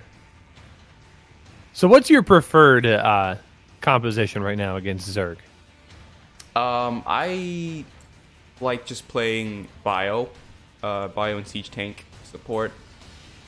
Um, just classic right. type sc- scrappy kind of game. Um, occasionally I will, you know, I'll open Hellions and come into Cyclones, but here we are in the game. All right. Spawning in the bottom right hand corner of Thunderbird. This is our red Zerg player. Give it up for Fox McBrush. And in the top left corner, playing with the pink SCVs, give it up to the for the illustrious Awu, aka Captain Undead. I think we might want to check the overlay. Oh yeah, oh. look at that. I forgot. Uh, da, da, da, da, da, da, da. Nope. Ah, yes. The overlay into itself, into the bracket, Here we are. into the game, just like we drew, drew it up. Oh. Spawning in the bottom right hand corner is our red Zerg player. Up for Foxman Brush. And the top left hand corner is a Terran playing SCVs, blah blah blah blah. It's Captain Undead. Excellent, excellent work, Rushy. Ah, thank you so much.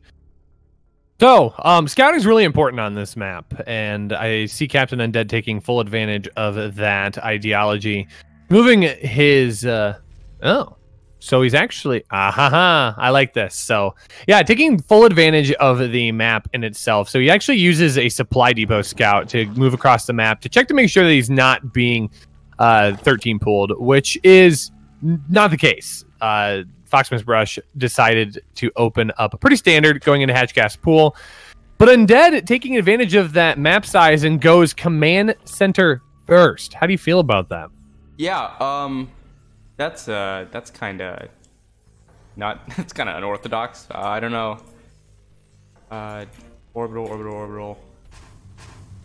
Um, Well, the delay on the orbital is going to be a long ways off since that barracks isn't going to complete for about another 10 seconds or so. But it, think about the potential for SCV production. If he can get um, his second and third base up and running a little bit quicker, I mean, he's not as susceptible to lings running through, uh, jumping in on the natural base. He doesn't have to drop the bunker right away. He doesn't want to go into a second barracks, though. So looking to be a 2 1 1 so far, which I'd say is, you know, honestly fine for the greedy playstyle he wants to get and then it's going to expound upon his ability to get mules because he can get that second orbital up right away. I, I kind of like this. I like this from Captain Undead. Yeah, this this will give him a, a arguably more fun play style out out of uh, out of Fox here, who interestingly enough um, doesn't have Zergling speed. Don't know why. Nope, he's going right into roaches, so he's already started that roach warren production. This is going to be a roach timing where you just skip the speed all the way entirely, and you bank up that gas so he can get as many roaches out as possible. So you can see that he's left a lot of room in his supply. I wouldn't be surprised to see six to seven roaches just immediately pop out. And he starts with two. We'll see if he, as he gets more larvae, more and more are on the way. But I imagine this is going to be just a nice roach timing. Now this hurts. He hasn't rallied his SCVs uh, into the mineral line, but um, may, may, maybe he can do that. This SCV will kind of pop out there, not doing anything. It's like Brood Wars again, you know. Wait, are you telling me this isn't Brood War? Hold on. Whoa, whoa, whoa, whoa, whoa, whoa. It isn't? Man, I just thought remastered looks so good. Yeah, I, I don't know, man. Uh, Hmm. So, where I liked Fox's idea of jumping right into roaches, not super thrilled with the choice of a third base expansion and going into lair. He's really kind of set himself behind going into that early tech, doubling up on his gas. I'd really love to see him get more of those probes on to uh, mineral lines to really build things up. But he's going to come in here with a Zergling scout that scouts that there's a bunker. Now this it's Third uh, base goes down. Yeah, it's um, what is it? 40 workers for Zerg before you really want to start teching up into anything, especially roaches. Or uh, Yeah, lair. absolutely. Uh, I think I think it's super important to get those uh, first two bases completely saturated with minerals before you start uh, adding on that second gas. Otherwise, you just get a little too gas saturated. You can take a look. He's constantly spending his minerals down, which is great, but he's sitting with 500 gas that he just can't dump into anything specific. I think the most he just spent now was 75 going into uh, his overlord speed. Now I like this wall off. It's gonna um, it's gonna help him defend against the incoming roach push. Um, I was trying to make it an encroaching pun, but that's a, that, that that didn't work out too well. Dun, dun, dun, dun, dun. Got that covered for you. There we go. Zergling's going to scout that there's no third base. And again, another thing, I mean, we, we went and rushed that second base out so fast. I'm surprised the third base isn't only coming up now at a, what I'd call a normal, normal timing. Siege tank is going to siege up right behind the wall and kind of reinforce this position. I think Third base is going to be able to float over, though. And here comes Nine Roaches. Here comes the push I was looking for about a minute ago. Yeah, it. I mean, Fox's uh, window of opportunity to do damage on this uh, siege tank line and marine line has really passed, you know, significantly. Um, the best he can do is probably hope for this third base to come in. But once once the Terran gets mules mining on this, they ramp up production. Uh, you're gonna be on the defense. Well, he has an opportunity here where he could uh, open up his supply and just morph uh, four or five of those roaches into Ravagers. That would chunk down to the tank enough uh, where he'd be able to kill it. Ooh, but he is going to take the workers and kind of tear down this line, but isn't really thoughtful about how he does that. And only one of those workers could actually harvest. Oh So, boy. Great idea, just not quite the execution he was looking for. And I would just love to see. Yeah, he's got the gas for it. He's got the gas for four or five uh, Ravagers right here. I'd love to see those just morph on in and deal a lot of damage to the siege units of a, Awu, but unfortunately, not today. Decided to dump it into Hydras. Let's see if Wu sees this coming. Uh, he's going to be moving out, but he really is focusing on his economy right now. And you can see that because he's ahead of Fox McBrush. Um, for a little while. Now it looks like Fox is uh, is rotating back down. Looks like his plan didn't work. So Well, and the Marine scouts all all of those roaches kind of pooled there. So, he, yep, Awu's gonna pull the the bulk of his forces up forward here. here's a Ravager. Now decides to get those Ravagers. There we go. It's like delayed reaction, yeah. So he's got some good ideas here. Now it's just going to be a matter of how he can execute it. But the tanks do get pulled forward and siege up. The Overseer oh, is not going to be able to sneak out in time. Does see that the bio is pushed forward, so he does have to be careful. And still just not quite connecting with the the mining of those minerals. I, again, I like the idea. Um, the execution is just a little little not quite there. But he has managed to saturate, oh, well, most of his bases. He's got an oversaturation at his third, and he can transfer some of those over to the natural. But at least his drone count is uh, even with the Terran, 58 apiece. And he does have a little bit of an army lead. Now, ideally, um, as a Zerg player, I think that you want to be having what is it, 80 or 90 drones, something along those lines Yep, at you- this point in the game. Mostly, you want to at least be one base ahead of the Terran in terms of supplies. So, Right. And so at- should have about 22 more, which would be around 80. Yeah, and look at all these mines. Just let's what's that? One, two, three, four, five. That's six mules just mining on this third base. That's an influx of economy for for Captain Undead. Looks like he's gonna double down on this, uh, bringing the bringing the drones along, mining those minerals. Now, uh, Captain Awu, Captain Undead, he he's not spending his minerals, which is something something scary. Look at that, 2.2k banked up already. Oh no, oh no, What that move command. massacre. That was an unfortunate move command into uh, Awu's army, and it just absolutely decimated all those roaches and hydras. He still has a, a good handful back at home, but all of that supply lead he had just unfortunately vanished. Wow, I mm, usually you want uh in a state like this, um usually I would be scared of banelings, but since Fox Fox doesn't have some, I would I would just go ahead and push. We could win this. Ooh, does get a nice pick off with a couple of those biles. So a few of those medevacs with a lot of energy goes down. Tanks are going to siege up. Fox needs to back off here. He cannot handle this all by himself. The tanks have the high ground and unfortunately gets a wraparound with the other set of Marines and all of his units go into the ground. And this is going to be a, a pretty tricky hold for his fourth base. And it looks like Awu has been uh something something just turn on his mind. He's going go go go. His army rallying across the map. He is smelling blood in the water and he wants to end this. Yeah, Fox is in a really rough position here. He's got 13 Hydralisks on the way, which would be good uh, against maybe a more mech focused army, but with a lot of bio and a lot of tanks, these Hydras just don't have the muscle that they need to survive and kill off the large number of bio that are moving quickly into Fox's natural here. He really could use some Banelings to help uh, even this up. Zergling's on the way, 14. It's going to help, but he's still got a long ways to go. I think he's reply block. Oh, GG. there we go. All right, that was pretty good. And Captain Undead moves on to be facing, I believe, Drone. No, some somebody, somebody. Lord Cranial, I think. That was pretty good. That, that was a solid game. Now, um, I'm gonna go dark for a minute. Don't worry, I'll be, uh, I'll still be observing, but, um, I will be less less active in the voice chat. So, um, have fun. All right. Thank you so much. All right, you're the, you're the team leader. Make sure this Rushy guy. Uh, hello.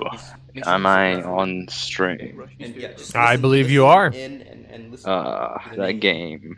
It felt good uh, at certain points when I was trying to like, you know, go through the mineral line, and then I was completely denied that, like a baby being taken away from its sweets. Oh well. Well played by Captain Uwu. Well played. Um. So the Lord will be facing Zer, and then after that it will be Drone Rush versus For the Win Cheese. Um. Lord Cranial, are you here? Let me just message Lord Cranial. Hello. Hello, friend. Um, Fluffy Waffle, could you also give me Party League?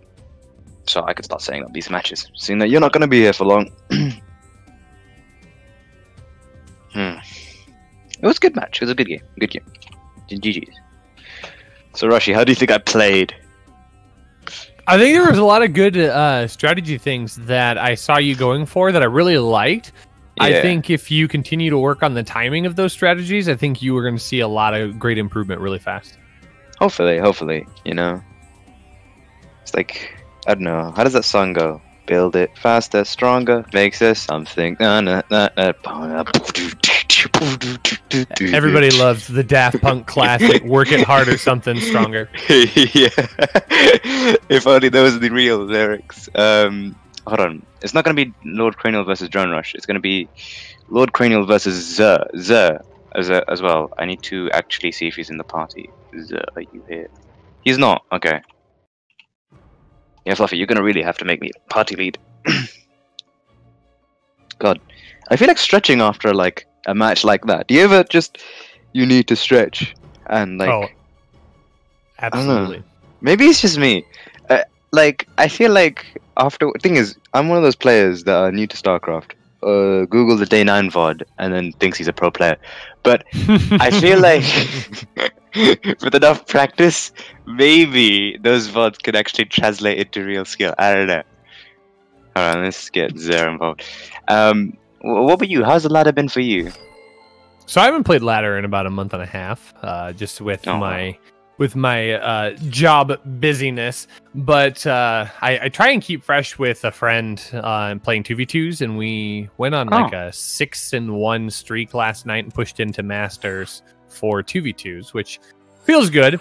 Um, yeah, it must. I what I like about uh, the recent changes uh, for Zerg are the Overlord speed Oh yeah. timings now with it being oh, hell yeah. 75 75 i Yeah. am enjoying adding that into the beginning of most of my build orders Yeah. i feel like it helps me scout a lot more consistently Yeah, because for me now the money is so that it's just cheap enough for like noobs just simply buy it because it's available for you. And I'm like, oh my god, this is amazing!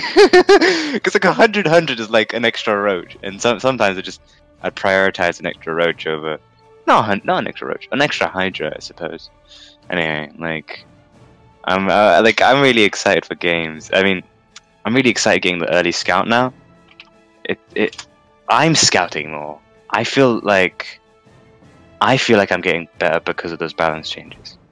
Maybe I am better. I don't know. so the so the best thing that uh you can do to improve at the game and and i'm still learning and working on this too is it's all about information and and that comes from two different angles information in the game like as you get as you scout and you start to see like oh i see this this is my response this is what i should Mm. do but then Yeah. also understanding like matchups and uh, going back to kind of like what you're seeing. So okay Yeah. i in this case it's a it's a terran versus protoss all right what is uh, typically a good opening strategy for my opponent? Do i need to build more zealots because they're going to have a lot of marines pushing through my door? Or do i need to save uh, save up my resources build an economy because i know oh it's going to be five six seven minutes before they can really have a sizable Mm. force that can deal damage to me Yeah, So- yeah, yeah. information in those two ways that alone will do so much because there's so many people at the top of the ladder i mean there's a lot of players in gm where you look they have apm under 100 under 150 Are you serious? so yeah so um but they just know the game well enough that they don't need to be constantly doing things as long as they're doing the right things but we Damn, I- are in, into our game here so we can we can continue that in just a moment spawning in the bottom Yeah. right hand corner our green Terran player give it up for cranial Woo! Oh, I was looking at Zer at the time. Spooky of me, even though you probably didn't see my mistake. Uh, and spawning in the top left hand side of uh, a good map, I would say, Triton, It's uh Protoss player Zer.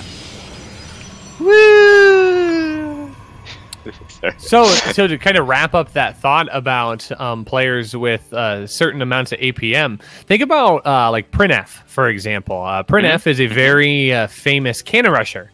Yeah. Uh, it doesn't take a whole lot of uh, APM or micro to make cannon rushing work, but it's all about information. Each map has really exploitable places for where can I drop my pylons? How can I wall? How can I wall myself in with the least amount of resources possible, and while giving my opponents the least amount of surface area to attack me? Oh, that Um, reminds what? me. Rushy, for that reminds me of um, For the Winds cheese. Cheese. It was so good. Yeah. I literally leaped from my chair and I was like, "What?" he walled off the cannon with the pi- the, the, he, sorry, he walled off the cannon with the pylons, and then in doing so, pushed out the probe. What a well-learned player, man! That was such a good moment. Anyway, continue. continue. I wanted to know. So so even on that, um, I know that uh, I I feel like for the win cheese has probably seen uh, some of Aret's coaching with Printf, where uh, they kind of went through the logic of doing like a really good cannon rush. Uh, Aret is uh, who is he with? He signed, I think, with Infinity Gaming. Um, really, really good uh, guy. You should check him out on uh, YouTube, and he streams every now and again No, that's but uh, he took a lot of coaching from Printf and kind of talked about like what makes a good cannon rusher good. And it was a lot of Hmm. like the science behind where to put your buildings, how to protect yourself against uh, early aggression, and, and the defense side Yeah. of that cannon rush. So, yeah, it's really fascinating. But again, if you look at the replay results, you're going to see APM below 100, and it's all about game knowledge, all about that information. Damn, like when you said uh, you have GMs that are like below like 100 APM, I was like, damn. Oh, what's what's what, what's worse is that Reaper just got blocked for that stalker. Rip, Ripperino. I mean, Rip Pepperino. Oh, shame. He's been sent to the naughty corner. Not the naughty corner, the for shame corner. yes, he's forced to stare at a gas geyser. Unfortunate. A bunker goes down for Lord Cranial as if he's going to get attacked immediately, but he I, I know Zer's playstyle. It's not it's not that aggressive. it's it's actually good actually. Um, what this guy does sometimes is that he gets phoenixes to simply pick up shit like siege tanks, and I'm like, oh, well played. The Reaper coming in again to see if it could shoot a pylon, because like Cobble, uh, not couple, sorry, uh, Cranial really hates that pylon.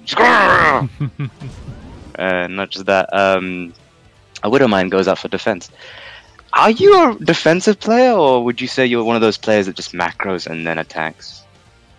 So I'd say I'd probably uh, for for a Zerg player, I'm rather defensive. I I have some dedicated aggression builds that I'm really comfortable doing, but for the most part, I really like to lay back and uh, kind of adapt to what my opponent's doing. So um, lots of scouting and lots of base building. Is it is it wrong that I'm a silver one uh, random player who just loves to cheese every game, and I don't even get that far? Not at all. Not at all. The, uh, look, I mean, look at what Pig does. Uh, Pig has his Starlord account that is sitting in High Masters, and that's all he does. He just plays random and plays as cheesy and silly as possible. Yeah, I know. Random is so fun. It's because you see, I had this dilemma a couple of weeks back where I enjoyed. I initially enjoyed Zerg, and I still love Zerg, but I ended up enjoying Terran as well. So I was like, shoot, I'll play random. And then in my random games, I only get Protoss. it's just so annoying and inconvenient. Right now, Zer's like sort of, you know, put, putting up some pressure, um, not visibly, of course. Uh, he is trying to. Would you call this a contain? I don't know. I'm a gold player. And then he gets scared and runs away. Okay, he, he doesn't run away. Okay. He's trying to keep. And I don't. I. I I feel like he just wants to try and get up into the base and see what's actually happening there. But there's not a whole lot of containing happening since Right now, Cranial's not moving out into a third. But the Widowmine drop coming down at the natural, and Zur's not responding to it. He's gonna lose some some probes there. The the uh, Widowmine on the right only only takes out one, but the one on the left does manage to get six, which is an incredible pickup. Damn, seven probes. Feels bad, man. I like. I'm not a Protoss player, but seven probes sounds like a lot for one middle one. Did the, did that mine survive as well? Indeed, we do for uh, for the win. God, you know, my only problem when I play silver is the fact that the easy way to get out of silver is to simply three off of three base saturation push, right? By by army then. but I don't do that in when I play random. I Hmm. I specifically choose because I don't know. It's just really fun. Sometimes though, I play uh, macro games because I know it will happen. Like literally, everyone plays super defensive when they vs me as a cheeser. Right now, Liberator is also coming up, and it's going to be cute on the main. Poor, fully saturated Moon Online. And let's see what's going to come. Uh, come. There's a Templar Archives coming up too, so the disgusting storm's going to do a lot of damage on uh, on our Terran player. The third expo's gone down too, so what's gone down for both players? Is six minutes a good time for a third expo? Well, with how passive both of our players have been playing, it, it could have gone down just a little bit, a little bit sooner. But uh, but I think both of our players are trying to play with a lot of respect. This Liberator is actually in a good spot to kind of uh, pick away at these. Uh, oh, pick away the stalkers. He actually had enough stalkers to kill that off, but uh, got a little nervous, and Cranial took the opportunity just to back away. So that Liberator is going to continue to cause problems here uh, Oh. lining right up again. But this time, it's not going to get that much damage down. Picks off one more stalker and does finally fall, but did take a couple of workers with it. Yeah, did it? Let me just shift L. Um, whoa, 17! What have I been missing? it took 10 workers. okay. Perhaps, perhaps, okay, well, that happened.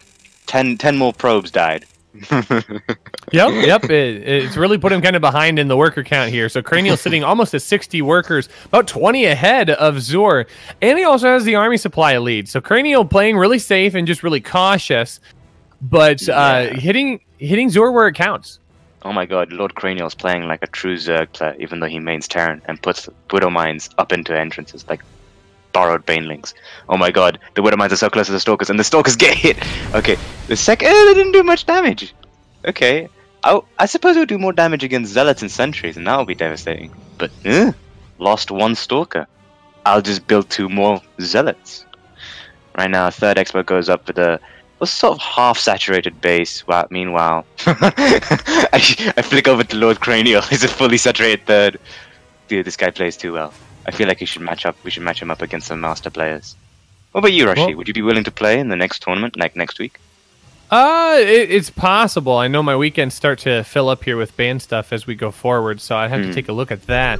But I, I don't think Cranial's got this locked in just yet. He's got a really strong army supply count, but Zor has exactly what he needs to stop this, and he's got uh, Templar with Storm. So Storm finished researching, and this is going to be a good direct counter to this kind of army. If Cranial's not careful, he could just lose a bulk of his army to so, two, three storms, and it'd be taken care of. And two storms are available, but I don't know if this army should be pushing out. He should be staying back at home. Does get scanned. He is going to need to back up just a little bit. I think he's he just doesn't have quite enough to take out this army out on the field. Hmm. You make you make storms sound like as if they're a product for like from a company.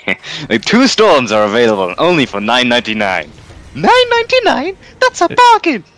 And if you call right now, a Warp Prism will warp in an extra Templar for that one storm for free.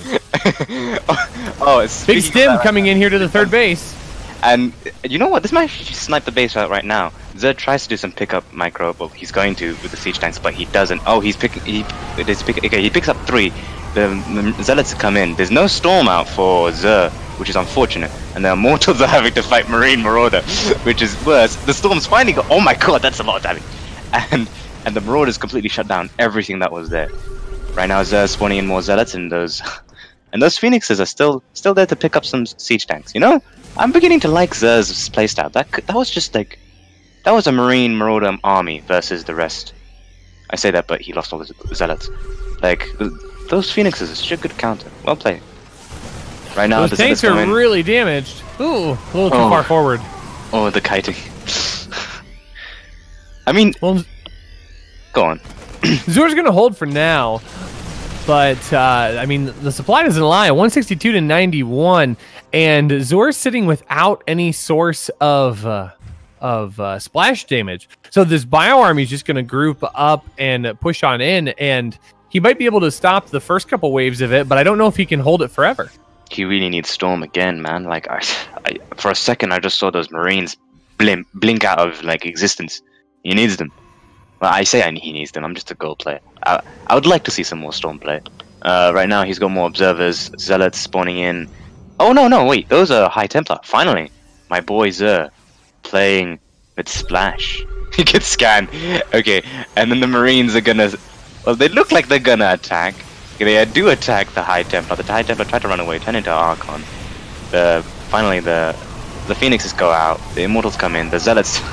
I didn't even get a chance to see that they existed, and, and those that Immortal dies. But with this high Phoenix count, maybe he can like I don't know harass the mineral line, get the attention off of Lord Cranial. He pulls all the boys into the main. God, you can really tell that he has like. Wait, where's his other base? He has 54 workers, but 48 probes in his main. I wouldn't be surprised if he had all 54 in that pile because there were a lot of workers there. And this bio force is just going to be able to go uncontested. There's just too much there. GG is called. And Cranial continues to move on through. Moving on to the next round. Well played, well played. My God, that guy. Oh, you know, I wasn't even expecting him to beat Cobble, and then he beat Cobble. I was like, what? What? Uh, uh, what? Uh, it's just a minefield of incomprehension. I was like, I can't believe that actually happened. okay, so the Malord goes next. And goes to the next round. Next will be Drone Rush versus For the Win Cheese. and I think we have like uh what three matches left. That was unsurprisingly long. I was going to say, I think we're down to our last four players. Yeah. All right. For the win, cheese. Are you are you on? Oh, also fluffy waffle. Let's uh let's start the next game. So the next game will be Drone Rush versus the versus cheese.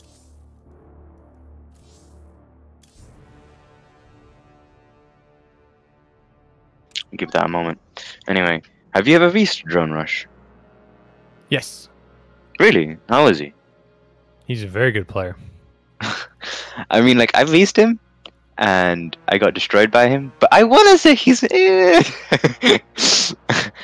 He's actually pretty good, but I wouldn't. I feel like uh, Drone Rush is one of those players that is so casual, right? In a competitive environment, that he doesn't really like. uh I can see him not playing it. I mean, uh, not playing to win. You know, he almost lost against Haha. I was like, whoa, Haha, you mad lad and then it turns out like he just crushed him. But I mean, that was fun to watch. Like he puts on a good show. I like the fact that his calm his calm attitude actually puts on a fun, entertaining game. Because he might lose, and then he just brings it in. But yeah. I mean, how many matches have you got against uh, Drone Rush?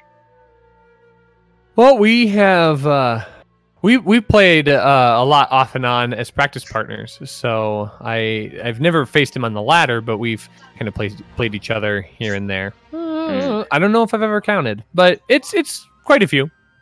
It's greater than two or three. I think I had like I just because I play random, right? I try to play random.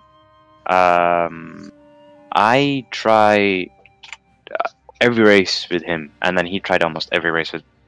Did he play Protoss? I think he did. Uh, whether whether the fact that he did or not doesn't matter. I think I played about six or five games with him, and in all those games, does that man know how to harass? I can't tell if he's just like deselecting his whole army hotkey and then alt tabbing and alt hit alting his army hotkey with like an attack command, and then like I'm just experiencing like two two fronts at once, or if Mhm. he's actually just you know microing two fights at the same time. I can't tell if he is because I'm only paying attention to one at a time. Like I I play StarCraft as if it's like a checklist, you know. SCVs are they being built? Is army being built? Is uh, the army in check? And additionally, is uh, what's that thing that I keep forgetting about? Supply. Am I supplying? You know, that's just a testament to my capability. Hmm Um, who is next? Who's going next? It's it's drone rush versus cheese.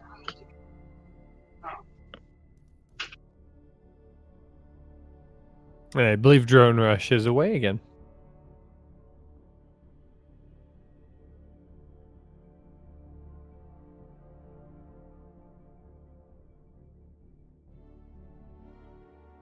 Rip. Okay. Um. What we'll do is that we'll play Lord Cranial versus Captain Awu. Poor Lord Cranial. He really wanted to co-cast, and he's just playing games outright. okay. Um. Lord Cranial versus Captain Awu. Let's try that.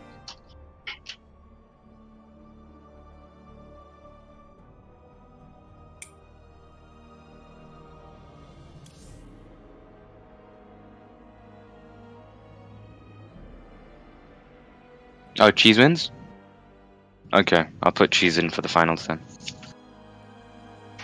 So we have two games left. How does that Hey, we feel? can do that.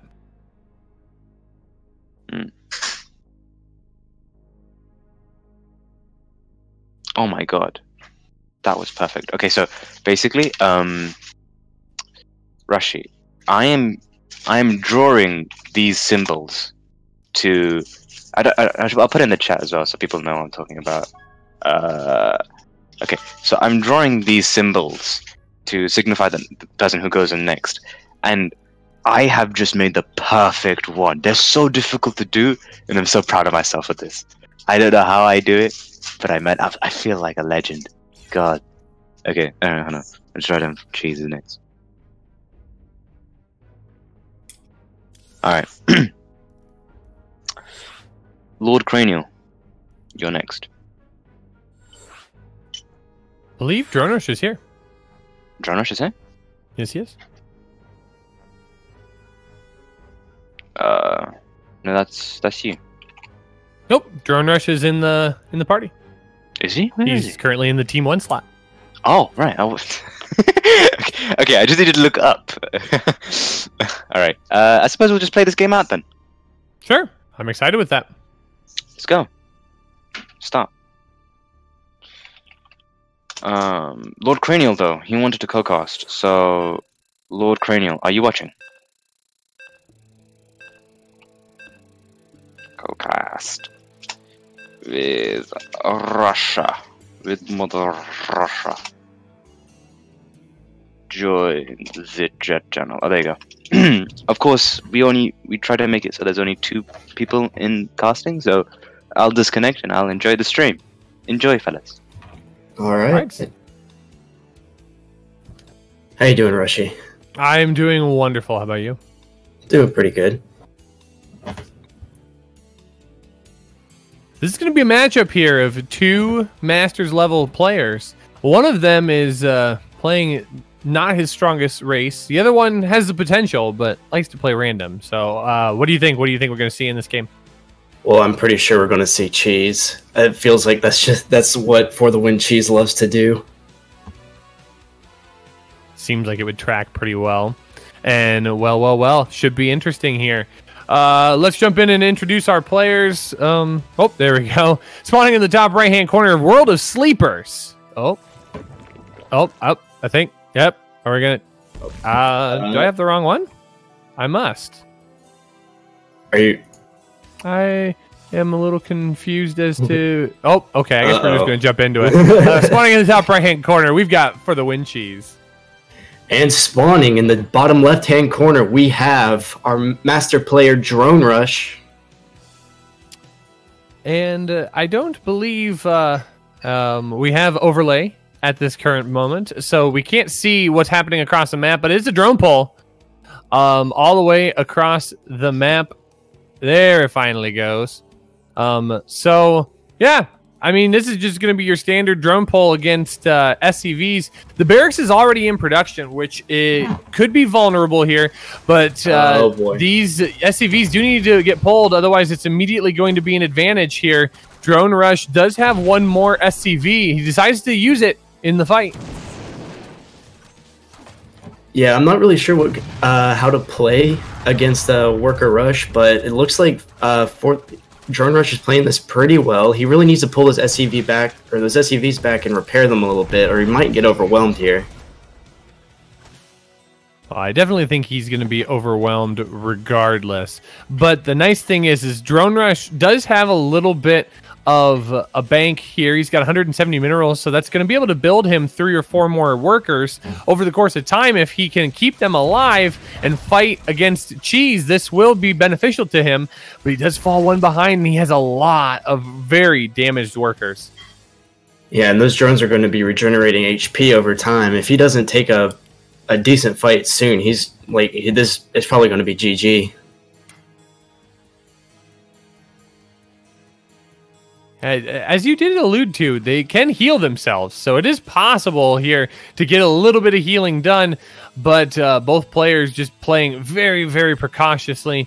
Uh, oh, he does do a little bit of healing, or a little bit of repairing, actually, but uh, not so much anymore. Drones do try and swoop in here. Do- ooh, they don't get a very good surround, and actually get surrounded by drone rush. And he goes up two workers. Even just a little bit of a lead like this can make a, a big difference over time. Yeah, for the win, Cheese is losing a lot of workers, and there's not really much mining going on at home. So, if Drone Rush can hold this, he's going to be in a vastly superior position. Yeah, and it's 13 to 11, and actually, uh, for the win, Cheese doesn't have all of his workers here. He has about four or five back at his base, and uh, this is starting to look really good for Drone Rush. Yeah, I would definitely say so.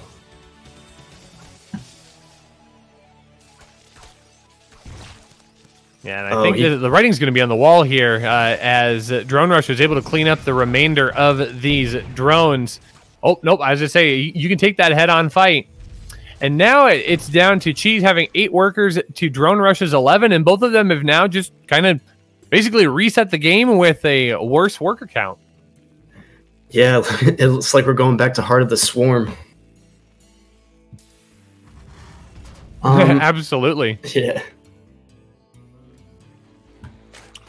So, interesting position that we're in. Just in terms of technology and being able to uh, advance forward, Drone Rush is in a much further spot compared to Cheese because his barracks is almost already completed. Meanwhile, Cheese hasn't even started a a spawning pool yet. He hasn't started another hatchery. Another barracks is going to go down. So I think this is just going to be a large marine production. I actually would almost love if he did uh, two barracks uh, Reaper. That would actually be really devastating for the situation that Cheese is in. But Droners doesn't necessarily know what's all behind this. He's just more concerned about getting some defenses up, and he needs them up now. Yeah, absolutely. Um, another thing I would like to see is maybe a two-one-one, uh, two Medivacs, because that that would be able to hold anything that drone rush or uh, for the win cheese could throw at him. Um, but uh, two uh, two barracks reaper push would also be very potent. It looks like uh, cheese is just going to go ahead and go spawning pool first. Hatchery's about to come up behind that. So I'm guessing we're going to see. Um, him try to push out with lings at some point, maybe just defensive lings.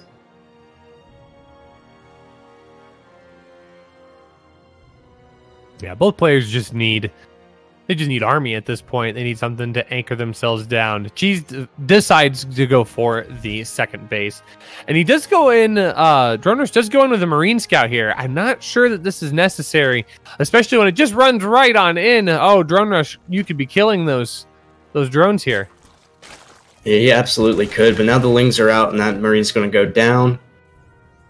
Uh, looks like he's now sending a Reaper Scout out, possibly to try and harass the um, the main base of For the Win Cheese. Although uh, For the Win Cheese is actually sending his lings out now. There's not going to be much to defend at home.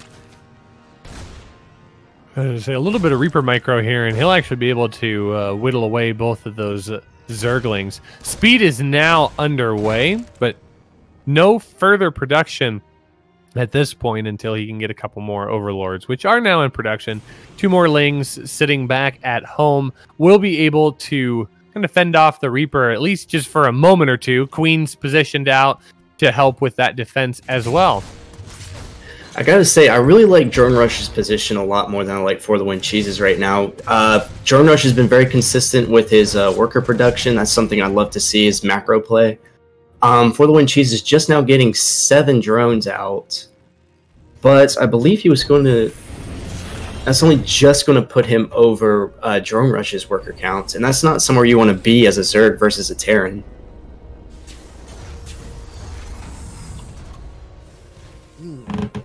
All right, so we are going to see the tech lab go on to the factory. We're going to see some cyclones. I like this. I like Oh, this idea. yes. Cyclones are incredibly strong against the early game Zerg tech, and just based off of uh, for the win cheese at this point, I'm wondering if he has the micro background to be able to stand up to a strong push like a cyclone Hellion timing. Oh yeah, absolutely. He is getting a Bane Nest, which is going to be pretty uh, efficient versus Hellbats if they do come out. Um, not so much against Cyclones, because Cyclones will easily be able to kite those.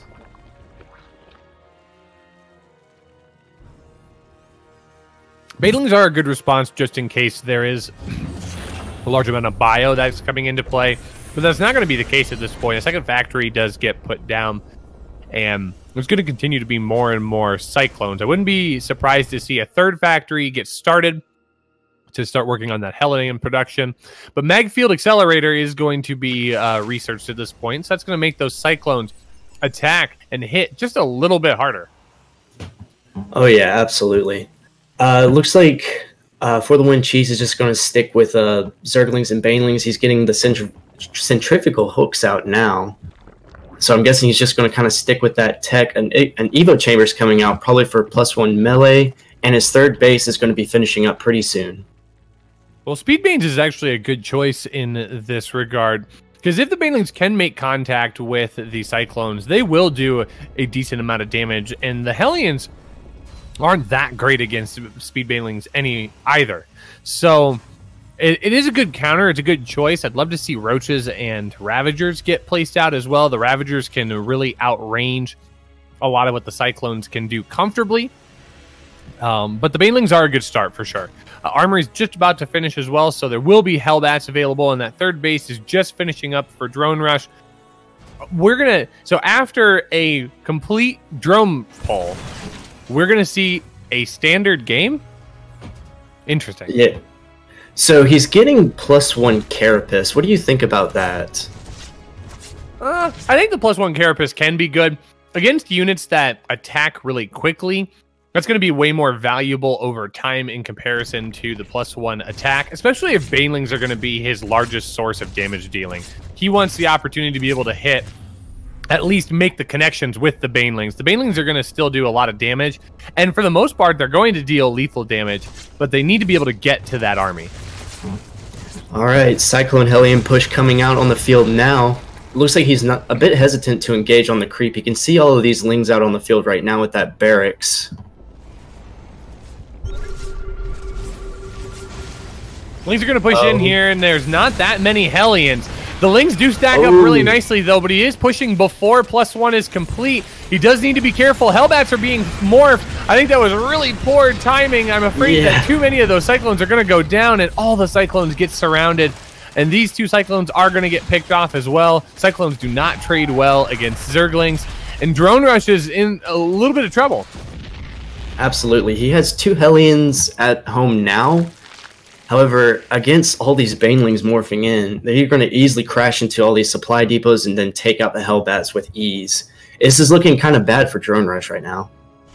Yeah, he needed a lot more Hellions uh, than he had, especially with the information that he knew that For the Win Cheese went for a large amount of Banelings and Zerglings. The Baneling bus does get uh, the main wall taken care of at the natural. The bunker, oh, is just, Oh. just one tap away, but everything's empty, so it's not really doing anything anyways. The Hellions are going to get surrounded, but not before they deal a lot of damage to these Zerglings. But more Zerglings do pour in as reinforcements, and uh, For the Win Cheese is just kind of pushing down on the gas. He's putting Drone Rush under a lot of pressure. Yeah, absolutely. These Hellions did a really good job of, uh, well, I said as I say that, they get taken out. But they did a pretty good job holding. More Lings are going to come across the field. Spire is actually done, but we don't see any Mutalisk coming out of For the Win Cheese right now. He is he's basically all in at, or he's all in at this point. He is bloodlusted and he's ready to get some damage done. Yeah, and this is the right time to jump in on top of it too. Blue Flame's not even completed yet. Smart Servos is just now uh, getting close to finishing up. So the time that he has to strike and deal lethal damage is now. The third base is still floating while these Zerglings are continuing to ravage the natural base of Drone Rush. He is going to be able to clean this up eventually, but oh, the Zerglings Ooh. almost dive into the main base and get a good scout off. But that was a lot of damage, a lot of SCVs that went down for the price. Meanwhile, Cheese has been able to move up to six bases out on the map. That's that's a good economic lead as he's going into Mutas. Um, but at the same time, he has gotten supply blocked. He lost the Overlord there, and he's building eight more now. But that's going to delay the production of these Mutalisk. I don't think it's going to matter too much though, because Drone Rush has no idea that they're coming out, and he's not making Thors or anything like. Or, I apologize. He just started making Thors, so he does have some idea of what's going or uh, what's going to come next. Yeah, with the with the scouting barracks at the front of Cheese's base, he did get a chance to see that the mutas were in play. So Thors are able to be started, but it's going to be difficult for him to sustain that kind of production with the economy that he has. 45 workers is not going to sustain Thors for very long. Fortunately for him, he did have a bank, and that is what helped get him on his feet. But these things are going to come in and get a lot of damage done on some of those mules. One mule does fall.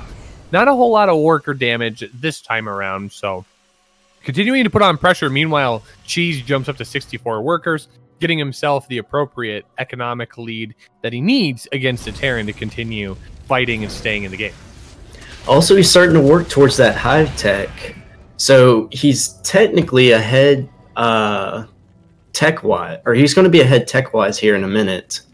Um, Thors will still be a good call uh, against Broodlords or Ultras, or the Cyclones will probably be a better option against the Ultras. Yeah, I would agree with that. I would agree with that a lot. Um, the Hive is going to allow uh, Cheese to actually catch up on the tech. Uh, Thor's being a tier three unit. He is uh, Cheese is going to be able to want to be able to combat that over time with Broodlords. These Hellions are going to kind of swoop in and try and look for uh, any workers that they can roast, but there's really nothing at the fifth or sixth base. So just be sure not to just toss these away. The mutas are going to fly across the map, try and get a little bit of counter harassment done. So Baneling's being morphed in. They're not going to survive very long against these Blue Flame Hellions. Yeah, I agree. Mutas come in, but they're going to be shooed away by these missile turrets, and they're going to run right into the Thors. Moves back into the main base, and there's no missile turrets actually towards the front, which is a bit of a mistake. You usually want to have a missile turret by your add-on so they can't get picked off so easily. The Thors and Cyclones look like they're actually going to clean this up pretty well. Those those mutalisks were not microed in any way, shape, or form, and you never want to use mutas as a main source of fighting, especially against a Terran who's got Cyclones and Thor. So he's going to toss away all of the mutas and uh, move into that Greater Spire. Unfortunately, that kind of resets the count for Cheese. He had a sizable army lead. He has, still has a sizable worker lead. Kind of tossed it away for some really expensive units and not a whole lot of gain. Yeah, uh, Drone Rush's fourth is about to come up, or about to come online. The Planetary Fortress is going to be crucial in defending that fourth. Banelings come in, take out a ton of supply depots, but it doesn't really matter because he already had an excessive amount. Um, it looks like Drone Rush has basically stopped for the win Cheese's uh, aggression, and he's going to have to keep. He's going to have to stay back and not be able to get much damage done. Well, I'd really love to see uh, the continuation of uh, upgrades for these mech units. He's going into plus three. I'd love to see him uh, try and get some armor as well. There's a lot of a lot of Zerglings, a lot of uh, units that will hit quickly, and the ability to protect against that, especially when they have adrenal glands, which you just started up on research. Uh, that could get really dicey. Ultralisks are going to be a choice. Uh, oh wait, no, that is not chitinous. That's uh, plus three. Carapace. That's my bad. Um, Broodlords are going to be the choice of technology here. Yeah, he just lost both of his Thors too, so this might get a little bit uh, sketchy unless he can. Okay, so Drone Rush or uh, For the Cheese actually cancels his Brood Lords, moves or moves the Corruptors back, and decides to morph them in again. Three on the way right now, and Drone Rush doesn't have any more Thors. He has one in production right now. Yeah, but I don't think he needs him at this point. Uh, he just needs to be able to deal base damage, and that's exactly what he has access to. So this base is going to go down. Um, there is no mining happening on the uh, southeast side of the map, so this is actually a very good base to uh, go after. A couple of Hellions getting in some more harassment done, but the Queen should be able to pick those off while the Cyclones continue to work away at everything that they can find. So lots of Overlords are being taken care of. Again, it's not devastating damage, but it is going to add up over time. But here come the Brood Lords that are going to push uh, this army away, at least for now. Yeah, more Brood Lords are being morphed in now. He's going to get to that um, unstoppable number here in a second. Ooh, lots of Zerglings get a pretty good surround, but the Hellions are able to continue roasting away, and those expensive cyclones are allowed to survive. You can throw away Hellions to a, certain degree. They're way more, way more uh, uh, replaceable than the cyclones at this point. Although Drone Rush sitting on a nice gas bank, I think he's going to want to save his gas for more Thors. But there's another base that's going to go down. That's going to limit Cheese to four bases here, and he's still not able to replace any of the mining. Yeah, he can't. I mean, he does have a large gas bank, but losing these uh, cyclones is going to put him behind a little bit here. No, nice little wedge. He's actually going to keep a couple of these. Wow. He's going to keep a couple of these. The Broodlords are going to finally clean those up, but uh, they got way more value than they should have. yeah, those Zerglings just couldn't get the surround, and they just got picked off one by one. They queued up for death. Fifth base coming down for Drone Rush right now. Thor's in production. More Hellions coming out. He actually, he actually has a pretty fearsome, uh, hard to break army right now. If he can keep these Thors alive, maybe put them into high impact mode, uh, For the Win Cheese isn't going to stand much of a chance. Yeah, I think I think Vikings need to be the next logical step uh, to add into this army composition. He's got enough to deal with the forces on the ground, but uh, the more brood lords that get warped in, uh, warped in, morphed in, uh, exactly what you said, you're going to reach a number that's really difficult to deal with. And if he doesn't have Vikings, and they're finally forced start up along with uh, flying mech uh, attack and uh, shields. I, I mean, this this is the right choice. I'm just afraid that it's a couple minutes too late. So he's going to have to really get scrappy here to kind of hold this pressure off. Well, his uh, Vikings are already in the air. He could actually, if these corruptors, uh, if these corruptors fall, his broodlords are going to be in a lot of trouble. He's already, or the um, Thor is already starting to pick some of them off. Really oh, good. Uh, this is big. Yeah, really good defense there with the uh, Hellions taking uh, shots from the broodlords. Oh, and he is going. He's going to take all of them out, I believe. He's got to be careful. There's a lot of lings on the ground that are whittling away the Thors. He can't let those Zerglings get into the base, but all the Broodlords are going to go down. Yeah, and this is exactly what Drone Rush needed. He is uh, kind of held off this big push that Cheese really was kind of banking on to uh, end the game in some way. Uh, few workers do go down in the natural as more and more lings do keep slipping through, and the more economic damage he deals, the better position he puts himself in. But Drone Rush has way too many of these uh, high technology units that can very easily start pushing across the map. Oh yeah, absolutely. His army is just fierce right now. He is actually almost four thousand uh, resources ahead of uh, for the cheese or for the win cheese. Uh, the only problem I do see here is that he has he's not he's getting infestors now, and those Vikings aren't really going to be able to do much against that. And it, does he have neural parasite? He does not, but the fungal growth will still be really good against these uh this uh battle mech army. They're not going to be able to retreat, and the Zerglings can absolutely get us around if they can. But everywhere else, or every other base is just getting roasted. I was going to say I. I absolutely wanted to see the Vikings landed and used in that capacity because it completely negates all of the versatility of the infestors, and that's what happens. And GG is called Drone Rush. GG gets to move on to our finals here. Uh, but a good game, a good show here. Absolutely. Um, real, real engaging stuff. Uh, never would have thought the game would have come this far from Okay. a drone rush. All right, hi. Um, so how was, how was like, the beginning of the game for you guys? It's hard to cast because I never know how to cast worker plays. yeah, it was so crazy. It's like, it's I can't believe Drone Rush got Drone Rushed into a macro game, and he still won. What? What? Okay, whatever. I just it's it's perplexing. That's all. anyway, uh, the next matchup will be obviously you, my lord, versus Captain Awu. Um, and then after that, it's going to be Drone Rush versus whoever wins that game. All right. Well, I'm gonna go ahead and uh, disconnect. Yeah, of course. Oh, I just realized I have to cast this game. Unless Rushy, do you want to cast by yourself? I'm okay either way.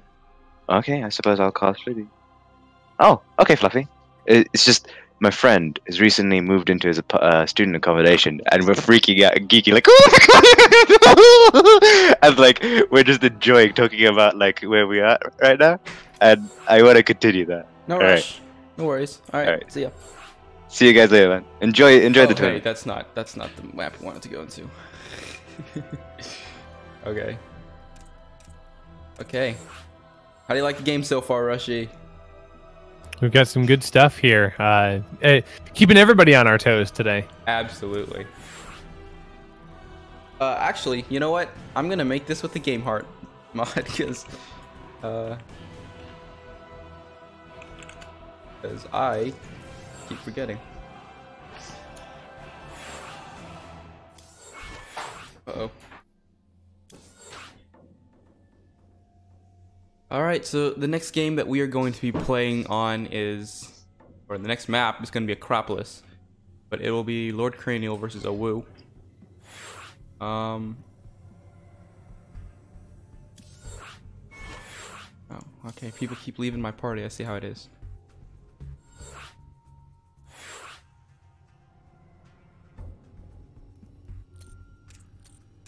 All right. Uh, Drone Rush, would you? Uh, are you gonna stay here? I guess we stay here. Okay. How rushy. Yes. This is a Terran versus Terran, my friend.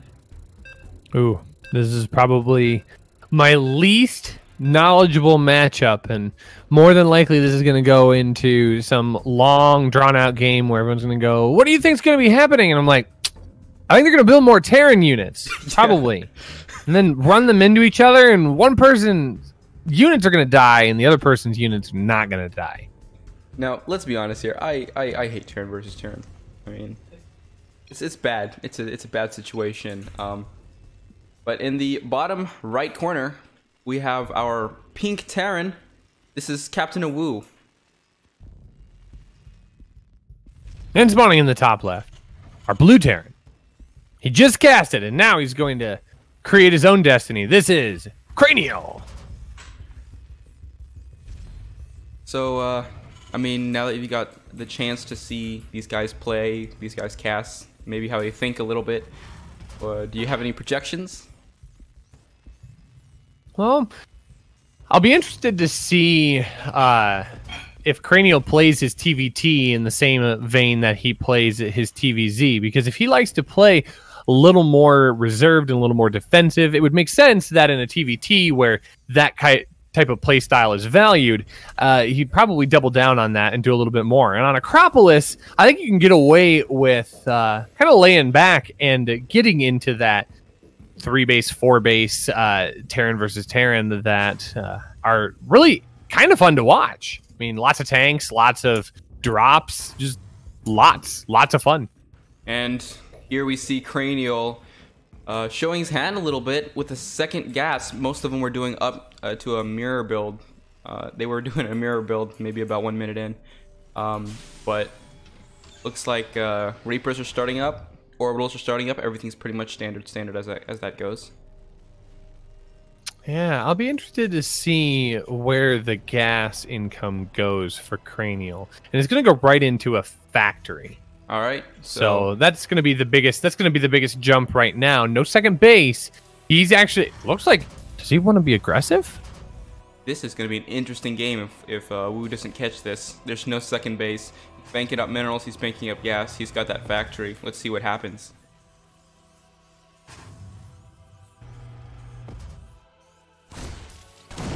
So my guess is that we're gonna we're gonna jump into a tank here. That that'd be my guess if I were a betting man. We'll have to see. Reaper as well. Nope, it's gonna be a Hellion. Oh, okay. So it's gonna be Reaper Hellion. it's gonna be the uh, two Reaper two Hellion push across the map to do a lot of harassment damage, and and this is good if uh, your opponent's trying to build a lot of their buildings on the low ground. But right now, other than the natural expansion, most of the buildings are at the top of the ramp. So it's an easy bottleneck that can be protected. The factory is also going down as well. So it- it'll be interesting to see what we can get accomplished here.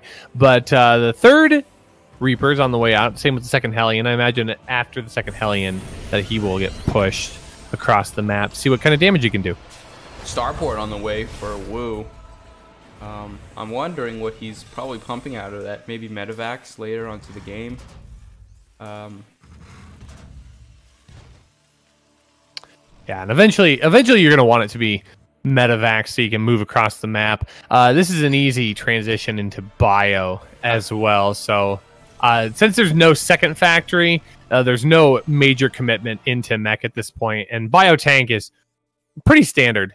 Uh, oh, the first tank was gonna go down, but decided not to. that's the beauty of one-one. I mean, you can choose between mech, you can choose between bio. You're not as um, you're not as restricted as the build that Cranial went into. Although that's a lot of units. Uh, I don't know if he'll have enough to come out on top here. That's three workers that he killed.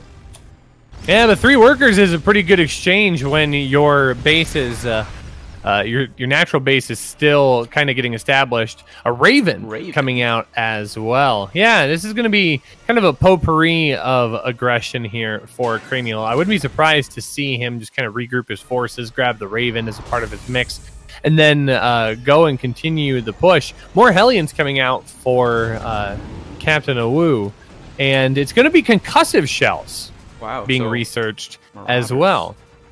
Yep, so he's anticipating that uh, Cranial is going to go into that mech play, which isn't entirely the case. He's uh, pumping out Marines two at a time. I imagine once we get done with the Raven, we'll probably see a couple of Medivacs come out as well. But uh, we might not get there. Captain Awu pushing across the map. Yep, and let's see what he can get done with this. Uh, there's a Cyclone and a Raven. Um, he's just gonna park him here in the corner. No big deal. Oh, Medivac, Medivac comes here. Here it goes. Oh, the Medivac or the siege tank sieges up. Oh. Surround on the Cyclones. Gonna drop that first missile turret and destroy that Marine over there. But it looks like that Cranial was able to hold okay. Yeah, this is actually pretty uh, pretty deep damage that's being dealt there. It's going to be Stim Pack uh, as a follow up here, so no combat shield just yet. It's just going to be Stim for our pink Terran player. Liberator's going to try its hardest to pick off this Raven, and I don't think the Raven's going to have enough energy to drop another auto turret. So it is possible that this could get picked off, and that would be big. Nope, uh, it's going to fly in range of the Cyclone, and Cyclone's going to scare it away. Yep. Now the Liberator's gonna come back on around. Let's see if Cranial anticipates this, or else he could be in a world of hurt. kind of just reset here um, in terms of our aggression here. Third base is being built for Captain Awu. So he's continuing to get ahead economically, which makes sense. I mean, he's got a good got a good position over on his side of the map. Uh, he didn't deal the damage that he needed to to end the game, but he did deal enough to uh, balance out the worker count and prevent uh, Cranial from just pushing back across the map. Now, Stim Pack has completed considerably earlier for uh, for a Woo, and so up until um, up until I mean it's it's uh, it's Cranial who's going for um, for a more bio focused build, right? So not having that upgrade is, kind of kind of holding him back just a tiny bit. Um, Yeah, I'm actually kind of surprised by that. I, I guess I didn't think that uh, he had a second barracks that wasn't producing stim pack as he was pumping out those Marines with the reactor. But I mean, that's okay. Uh, that does actually put Captain Undead in an okay position, but the supply would kind of lead us to believe that Cranial might be in a better spot. 40, 46 to 42 army supply, though, is close enough that with a couple of good hits in the right place, a couple of good tank shots, and that might actually balance really quick. But Cranial does need to hold this off. He can't be too careful. Oh, yeah. oh, Captain Awu, I don't know why you moved. missed opportunities and and and this is this is something I I I, I really prefer to take my um my third base over here because you've got aggression coming in from this way from the top right in the middle um, from down here whereas uh, this one you have a tight choke here. You can just wall off. You, you, you have a tight choke here and you have free clear access to your natural. And so um, it looks like I, I actually like this from Captain Wu. He's gonna rotate to the left and see if he can establish a blockade from the third and the second base. Uh, they're going to start zoning away, zoning each other away. But it looks like Yeah, Cran- Cranial has gained somewhat of an economical advantage. That, that was. Yeah, the last thing you want to do though to start this engagement is take a free pot shot on a majority of your Marines because a lot of those Marines are incredibly weak. One tank does get uh, shut down by the Raven, but the Raven uh, trades out as a price for the cost. Uh, tanks are allowed to continue firing onto the bioforces of Cranial. Meanwhile, more reinforcements do come pulling up, and the tanks are just allowed to uh, just deal crazy damage onto each other. That Liberator, though, did get a lot of damage done on those advancing tanks. And suddenly we're kind of at a standstill here. Uh, the one tank for Captain Undead is able to continue hammering away at the supply depot. Dang, look at that Liberator. Two tank kills. Yeah, the, Liberator did a lot of work there. Uh, Viking picking up another Raven, and Cranial's kind of losing uh, uh, just recklessly across the map. Captain Undead's got so many resources in the bank. He just needs to build, build, build. Yeah, and and and as I said earlier, forming this blockade really makes it difficult for you to, you know, transfer SCVs. They'll get killed out along the way, and your your forces are being split up in half. And look at this, he's only doing this with only maybe three siege tanks and a couple SCVs. This is really, really not a good situation for Cranial. Yeah, Captain Undead is getting a lot of value out of his units here, and I, I think this is the right call. I think he's done enough damage. He's going to pull back and uh, try and reposition. Um, Cranial has managed to lock this in for now, but Captain Awu needs to swing around that top side. I don't know if he knows that fourth base exists just yet, but he doesn't want to let Cranial get too far ahead of him on the worker count or the economy because that is going to spiral out of control. And when you're up 17 workers, that makes a big difference over the course of even just five minutes. That's right, and um, you don't want to macro from behind again. So I like this, uh, trying to be aggressive with a small little force, continuing to make units. Although I think Cranial has been doing a lot better with the production of units um, and not banking up as much. Well, they're both banking up pretty hard right now. Yeah, is, there's a there's a lot of action happening in this game. Uh, large Viking count is going to push back Cranial just a little bit, but these tanks are just kind of out of position here. Captain Wu is going to be able to set up on the right hand side of the third base and just wreak havoc on these workers here. Six workers already going down. Some Marines are going to push forward and try and engage, but there's just way too much here. The the orbital command is going to be forced to lift, but that's going to put them in range of the Vikings. I think the Vikings are going to do it. I think they're going to take this out. Look at that, and that's why it's so important to have air dominance inside of a Terran versus Terran battle, because as your ground units are are um, as your ground units are, are relatively immobile, your siege tanks, you know, they, they need room to, to zone safely. Um, once your siege tanks and your liberator zone safely, but your air units are a lot more capable of just coming in back and forth, back and forth, picking up a Viking here, picking up a Raven there, and uh, Cranial is attacking back at uh, Captain Undead's base. yeah, A couple of tanks here. I think he will defend for the time being. Although that's a lot of siege tank fire. Okay, so that was actually a really good push Yeah. for Captain Awu, but he doesn't know about the fourth base sitting up top for Cranial. Uh, he had an opportunity to do something about that base, and it just got left untouched. And a whole bunch of mules are now going to try and get Cranial jump started back in this game. But he doesn't need minerals at this point. It's gas income where he's hurting right now. Exactly, and uh, he's going to need to take the bases primarily for the gas. His army composition is very gas heavy, and, and Captain Awu has has just spent his bank. Um, and remember, he's he's behind a little bit. He was behind for a little bit, you know, 17 workers earlier.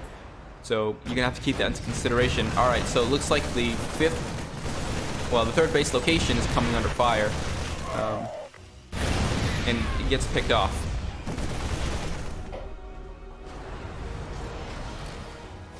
Now it's Captain Undead who has the Undead. I, I need to use the correct names. Captain Wu is um, is up in the economy.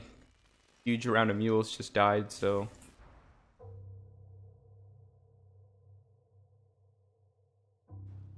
now I Does it- think. I think that, go ahead. No. I think that um, the correct thing for Captain Undead to do is set up. Uh, I mean, he's the aggressor right now, so he needs to set up for uh, a better engagement. Because if he takes that, um, his economy lead, his base, his overall better army composition will just um, will just take over. And, and I like this, um, taking this fourth base, with, uh, fourth base, and uh, and killing a lot of workers. That's a that's a good move for him. Yeah, but he can't just march right on in with those Marines. He is going to need to set up the Liberators first here. The Vikings are a little bit out of position, so they're not going to be able to protect right away. There's going to be a lot of free shots off on these tanks. Three tanks go down. That's actually the perfect time. Captain Awu needs a strike. That big stim forward is what he's going to need. Excellent. And he had just enough air dominance to be able to secure this. This third base is not going to stand for very long. Oh, but he's got to be careful. He's losing a lot of these Marines to tanks that have just been positioned further back. Ooh, uh, Captain Awu not taking the best engagement, but still sitting ahead about 40 supply. And never underestimate the siege tank. It really gives you uh, an upper hand in these kind of engagements. You never want to run into them if you can. Um, siege tanks will get incredible value. That was PF. Nice. That's going to be enough DPS to eventually whittle this uh, planetary down. And with the planetary going down, um, it's going to have to force him to the bottom left corner of the map to do more mining. He has been aware of this and has been building more and more command centers, but uh, he still hasn't really found an answer to Captain Undead. He is going to need to start transitioning those workers because that's a lot of lost mining time here for 20 so workers. Yeah. And so I guess that if they're not mining, then I guess it uh, kind of evens out the economy. And that, that's two liberators picked off. That's not good. Uh, he kind of just threw those away. The Marines were able to just fire freely. And Captain Undead's kind of letting Cranial stay in this game by giving him a slight uh, worker correction and just tossing away high expensive units for free. But he is still putting on a lot of pressure. Yeah, I really wish those workers would get to work. I mean, that's that's almost 20 workers right there, and that's the difference. I mean, 81 to 61.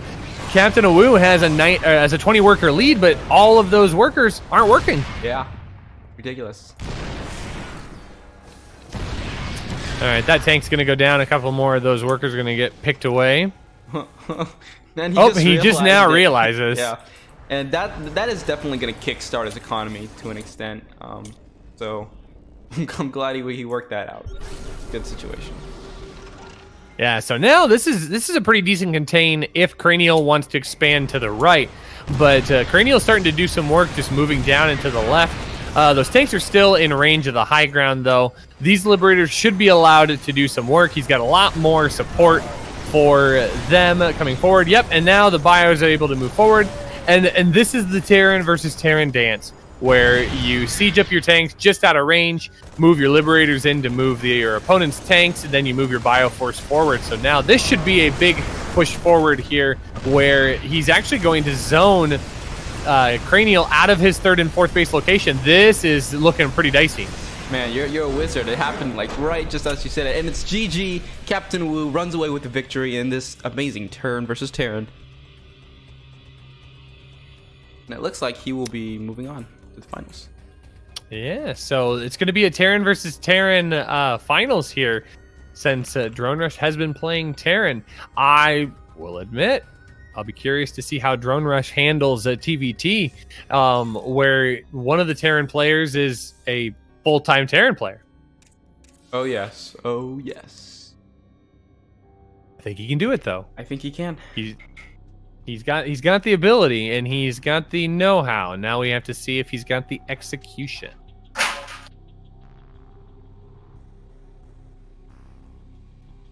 What is it? Cranial.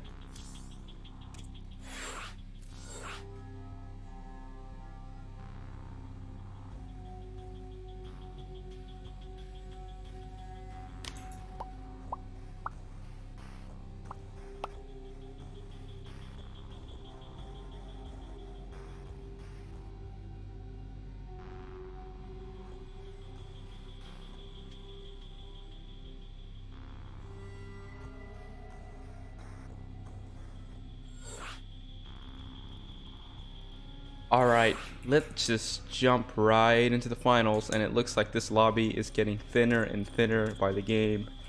Just me, Rushy, and our two players. Terran versus Terran again. okay, here we go. Um, yeah, Drone Rush. If you if you want to play Zerg, that's uh, that's all right by uh, by Captain Wu apparently. All right. Okay, here we go. I'm excited for this matchup, Rushy. I like this. Yeah, if Drone Rush is going to play as Zerg, I I'm really really excited for this. So this is our this is our last matchup of the day. A ZVT. What, what's your call? Who do you think's going to take this? I think Drone Rush has. Uh, I, I've seen him play Zerg. It's incredible. I'm really rooting for him. But man, as a fellow Terran, I can't just wipe Awu off the board just yet. So we'll see. Me- me- me- mech or bio? I guess that's that's the question. Well, we're going to find out here soon as we take a look at this player in the bottom right hand corner of Triton. Give it up for Captain Awu. And top left corner, wearing the moderator's sword for the Loco TV channel, it is our blue Zerg, the illustrious Drone Rush. Overlay. Oh, yeah. Maybe, maybe that's a thing. I'm, I'm not very good at the streaming thing yet. Don't worry about it. Nah, it's okay. You're, you're killing it. You've been doing a good job today. So you've been doing a lot of casting and a lot of uh, overlay work. Uh, very well done. All right, so here's Drone Rush, and here's Awu, in case you guys, you know, forgot. So, um, actually, I, I forgot to tell you about the prize pool. The winner, um, will get a sub to Loco, but if they already have a sub to Loco, then um, they will get a sub to whoever they want. Um, All right. Or alternatively, if you don't have Discord Nitro, you will also, um, you can also get Discord Nitro if you want. Uh, that's pretty good, pretty good price pool for today. So, um, looks like we are going to see just a little bit more of a standard matchup between these two players. Drone Rush opting in for a hatch gas pool. Captain Undead going for just a pretty basic uh, barracks timing. Although no follow up base. Well, I guess that comes off of the uh, barracks worker. Yes. So uh, to be determined on that one. I imagine that will probably still be pretty standard. Yep, and there it goes. Yep. More than likely, we'll see the second command center go down here shortly. So not as aggressive as last game. Looks like he's just transitioning towards the normal Terran opener. Um, now, as as a diamond, a high level diamond Zerg player, um, and Drone Rush is a master one, right? Um, Yes. I'd, I'd be interested in hearing your insight of just this Zerg paradigm and how how you approach Terran in general.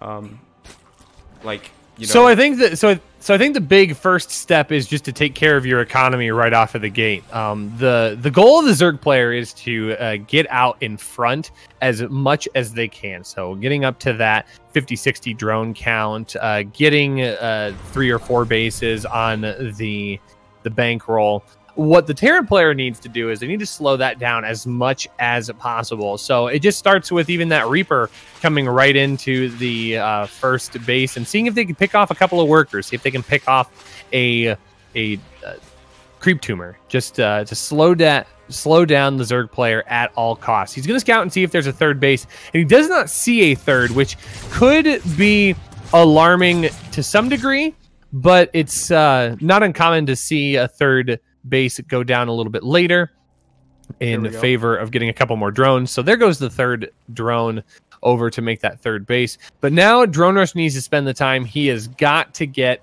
his economy up and rolling. This third base is going to be good and get settled in, but now um, it's coming down to the Terran player to make a decision on how they want to approach. And it looks like it's going to be a 1 1 1. Mhm. So moving into more than likely what will be a 16 Marine uh, push to begin with. And I think Drone Rush is going to be more than equipped to handle that. It's going to be another 30, 45 seconds before we see any tech shift. Oh, oh yeah, there we go. So uh, it's going to it's going to start pumping out Marines here in just a moment. Could be a Banshee opener too with the Tech Lab.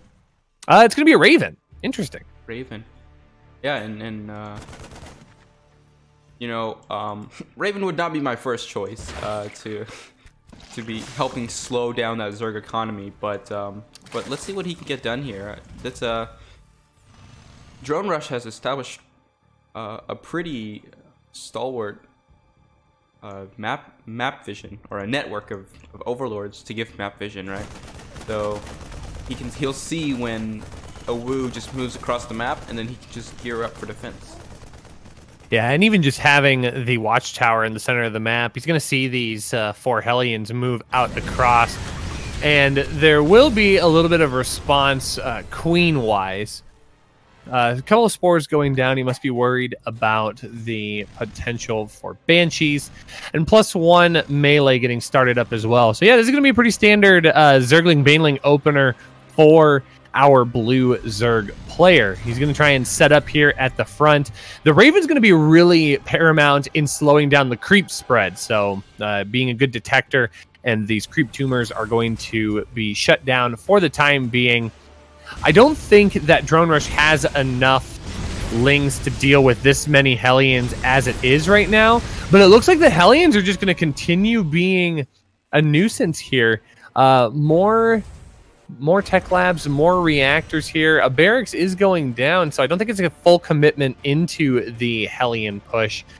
But this is still going to be pretty scary. Drone Rush has to prepare for this, and I think it's going to be more queens and two more on the way to help zone these out while he continues to build up his uh, Ling and Baneling count. I think the uh, the situation or the um, the ideal situation that Captain Undead was going for by building this Raven was that he didn't have to drop extra energy for scans, which means he can just pump out mules. But really, he's gearing up production. He's not expanding really. Um, and even I guess five minutes into the game, he is putting on that harass really hard. But he's he's he's not really getting creep. Um, he's uh, I mean, yes, he's going on to creep, destroying it here or there, but it's not it's not anything uh, anything amazing, and the Raven will just return back home. And I and I feel like if you're gonna go into the Raven, you have to make a concerted effort into stopping the creep at maybe not all costs, but many costs, because it's a it's a large gas consumption. In the case of using scans, scans are just energy. Energy is gonna build up over time. It's not gonna cost him any major resources. And for the amount that he would get off of of like say a mule, mm-hmm. I, I don't think it's that big of a sacrifice. If you go the opposite way, though, if you go for the Raven, you really do need to make a concerted effort. Okay, I'm going to take this creep out. I'm going to push Drone Rush and keep him on his three bases and not let him get out to the front of the map because now Drone Rush is able to take this uh, this forward fourth base, and if he's allowed to establish it, that's actually going to give Drone Rush a lot of great positioning on the map in terms of getting to uh, Captain Wu's base. Absolutely, and and I think I think that's a that's a great analysis there, um, and this fourth base is, I say, um, is really you know getting more ahead because the Terran does not have a third base ready. I don't think he even you know he has a third command center in here, but they're both the locations are both being blocked by Zerglings, and so if Drone Rush gets this up and defends it, he's really going to be in good position economically. Ooh, big push comes in. Ooh, the Dorito cannon does get a fire on all these Banelings, but the Banelings are allowed to connect before the tanks can really do anything about it. So he absolutely throws all of his army away And at what cost? And Oh, the, the Dorito cannon does not see friend from foe, so um, you're gonna have to be careful about that. Like half of of Awu's units got got Doritoed as well.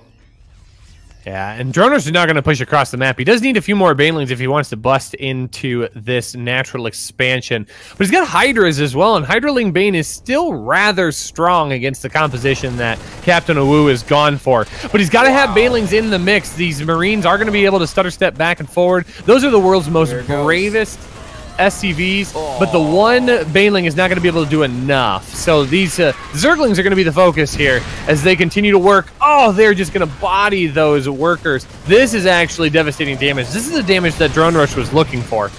Absolutely, and look at this. It is 34 to 76 workers. Creep spread is off the charts. He's getting production buildings, workers into the main base, continuing on that upgrade train, transitioning to Hive, transitioning to Spire, and looks like Captain Wu is calling GG. Yeah, Captain Awu unfortunately let the door open and Dro- Drone Rush just piled on in. GG is called, and congratulations to Drone Rush.